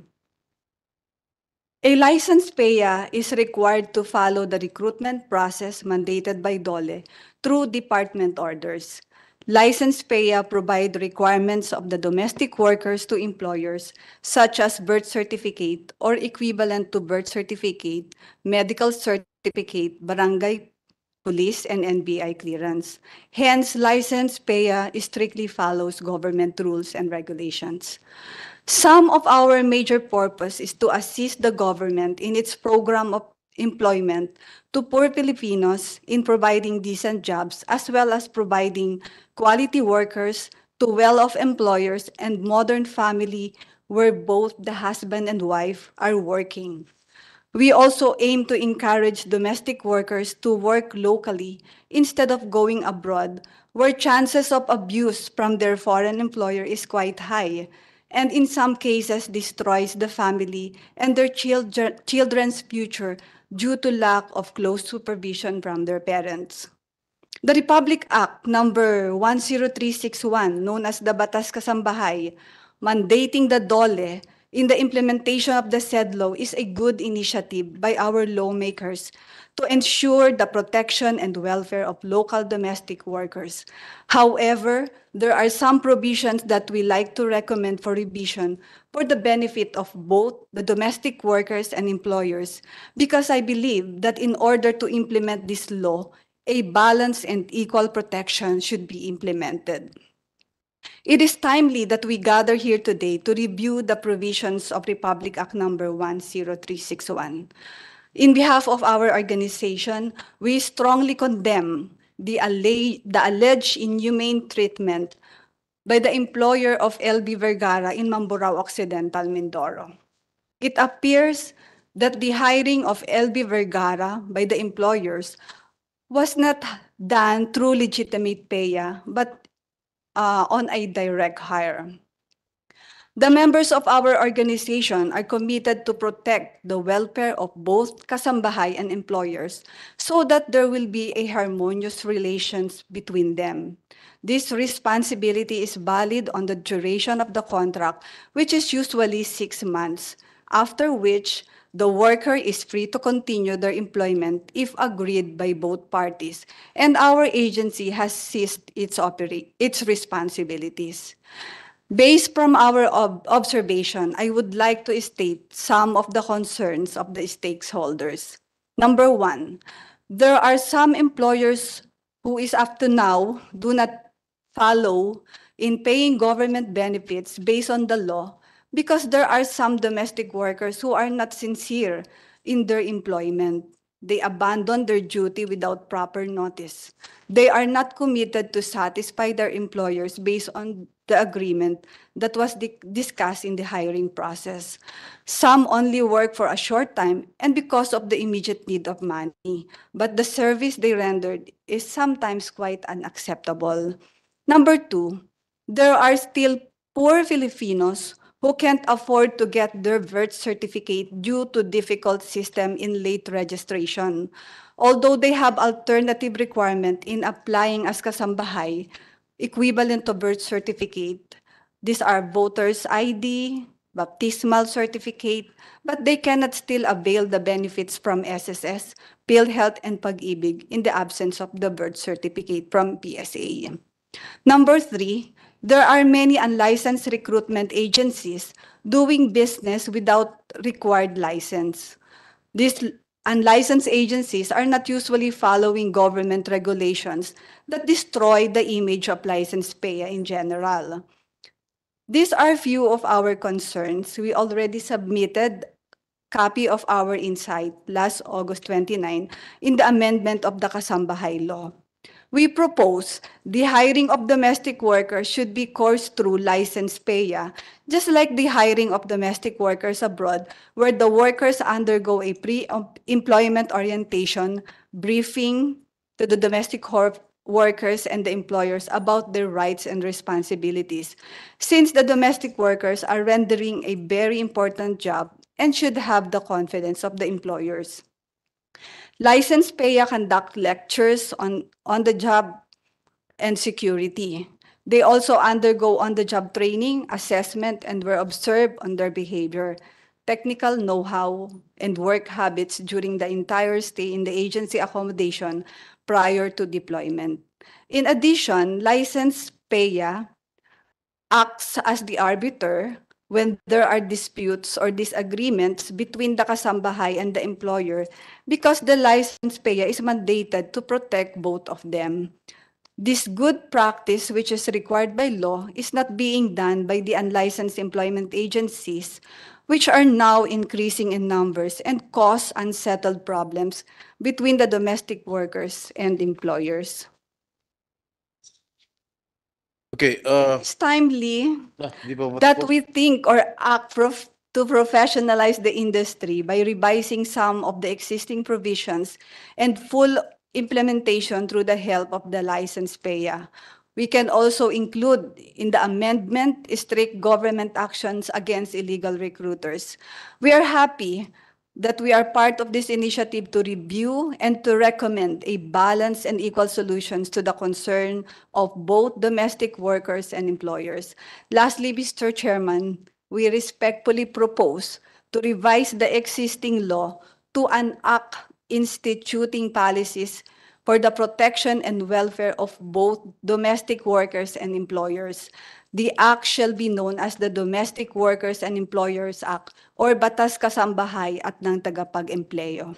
Thank you, Mr. Chairman. Okay, uh, thank you very much for all your uh, inputs, no? Uh, you know, there are several measure, measures filed by our colleagues uh, with regard to the amendment of, uh, or revisions of, uh, this, uh, uh, existing law, yung Batas Kasambahay.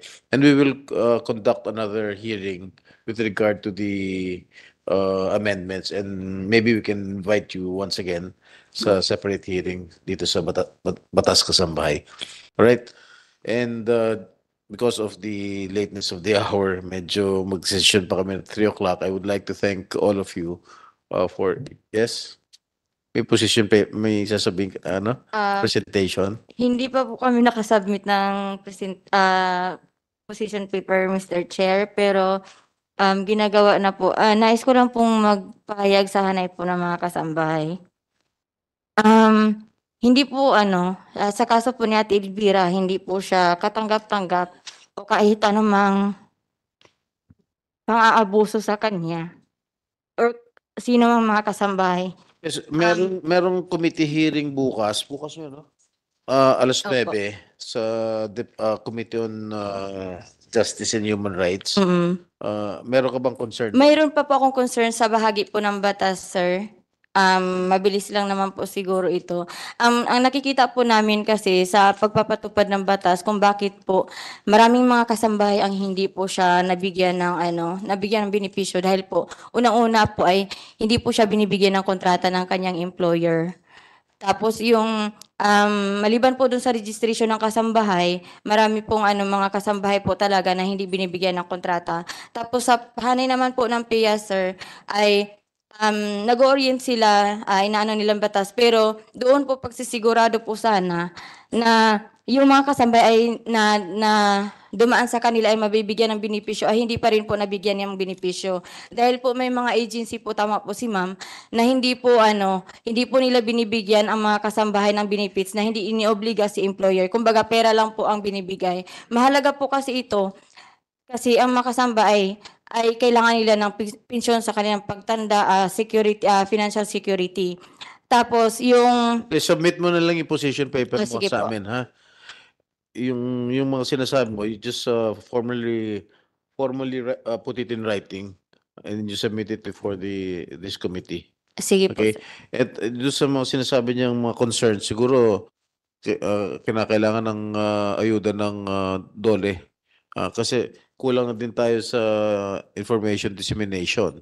No? Kasi marami rin mga, let's face it, marami pa rin mga amo na hindi nire-register talaga yung mga kasambahay nila sa mga barangay. Siguro it can be of help. No?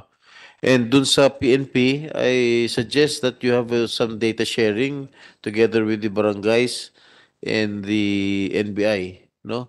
Para makulate nyo, malaman nyo kung ilan talaga yung mga kasambahay na nagtatrabaho ngayon. Kasi uh, the figures are quite unbelievable. Kasi sinabi ni Yusek uh, Benjo na nakaregister lang sa kanila is 1.4 million kasambahay.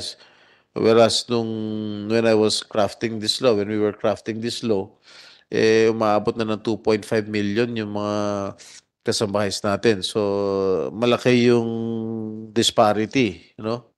Ah, isang milyon ang nawawalang ah, ano, siguro ito yung mga tinatawag na unregistered na kasambahay na hindi nire-register sa DOLE, hindi nire-register sa PhilHealth, sa Pag-ibig, tsaka sa SSS. So, I advise, I, or I suggest na magkaroon kayo ng data sharing. No? Uh, coordinate with the proper uh, stakeholders concerned like the NBI. Okay? So, maraming maraming salamat uh, sa inyong report regarding the implementation of uh, uh, Batas Kasambayan. We are expecting more proactive and uh, collab- collaborative initiatives from the concerned government agencies para masiguro na lahat ng ating mga kasambahay ay mabigyan ng uh, proteksyon at uh, maayos na kondisyon. And uh, thank you very much for the participation of my colleagues here, si Senators uh, Tulfo and uh, De La Rosa. And as I mentioned earlier, we have taken up during the our first part nung uh, yung hearing last week, yung uh, Eddie Garcia bill. However, last Friday, I met with uh, some stakeholders concerned and they requested that another hearing be conducted. So I will just suspend our hearing today and schedule another hearing next week to further discuss the uh, Eddie Garcia bill. Okay, and then notice will be sent to this effect. Maraming maraming salamat po. The hearing is hereby suspended.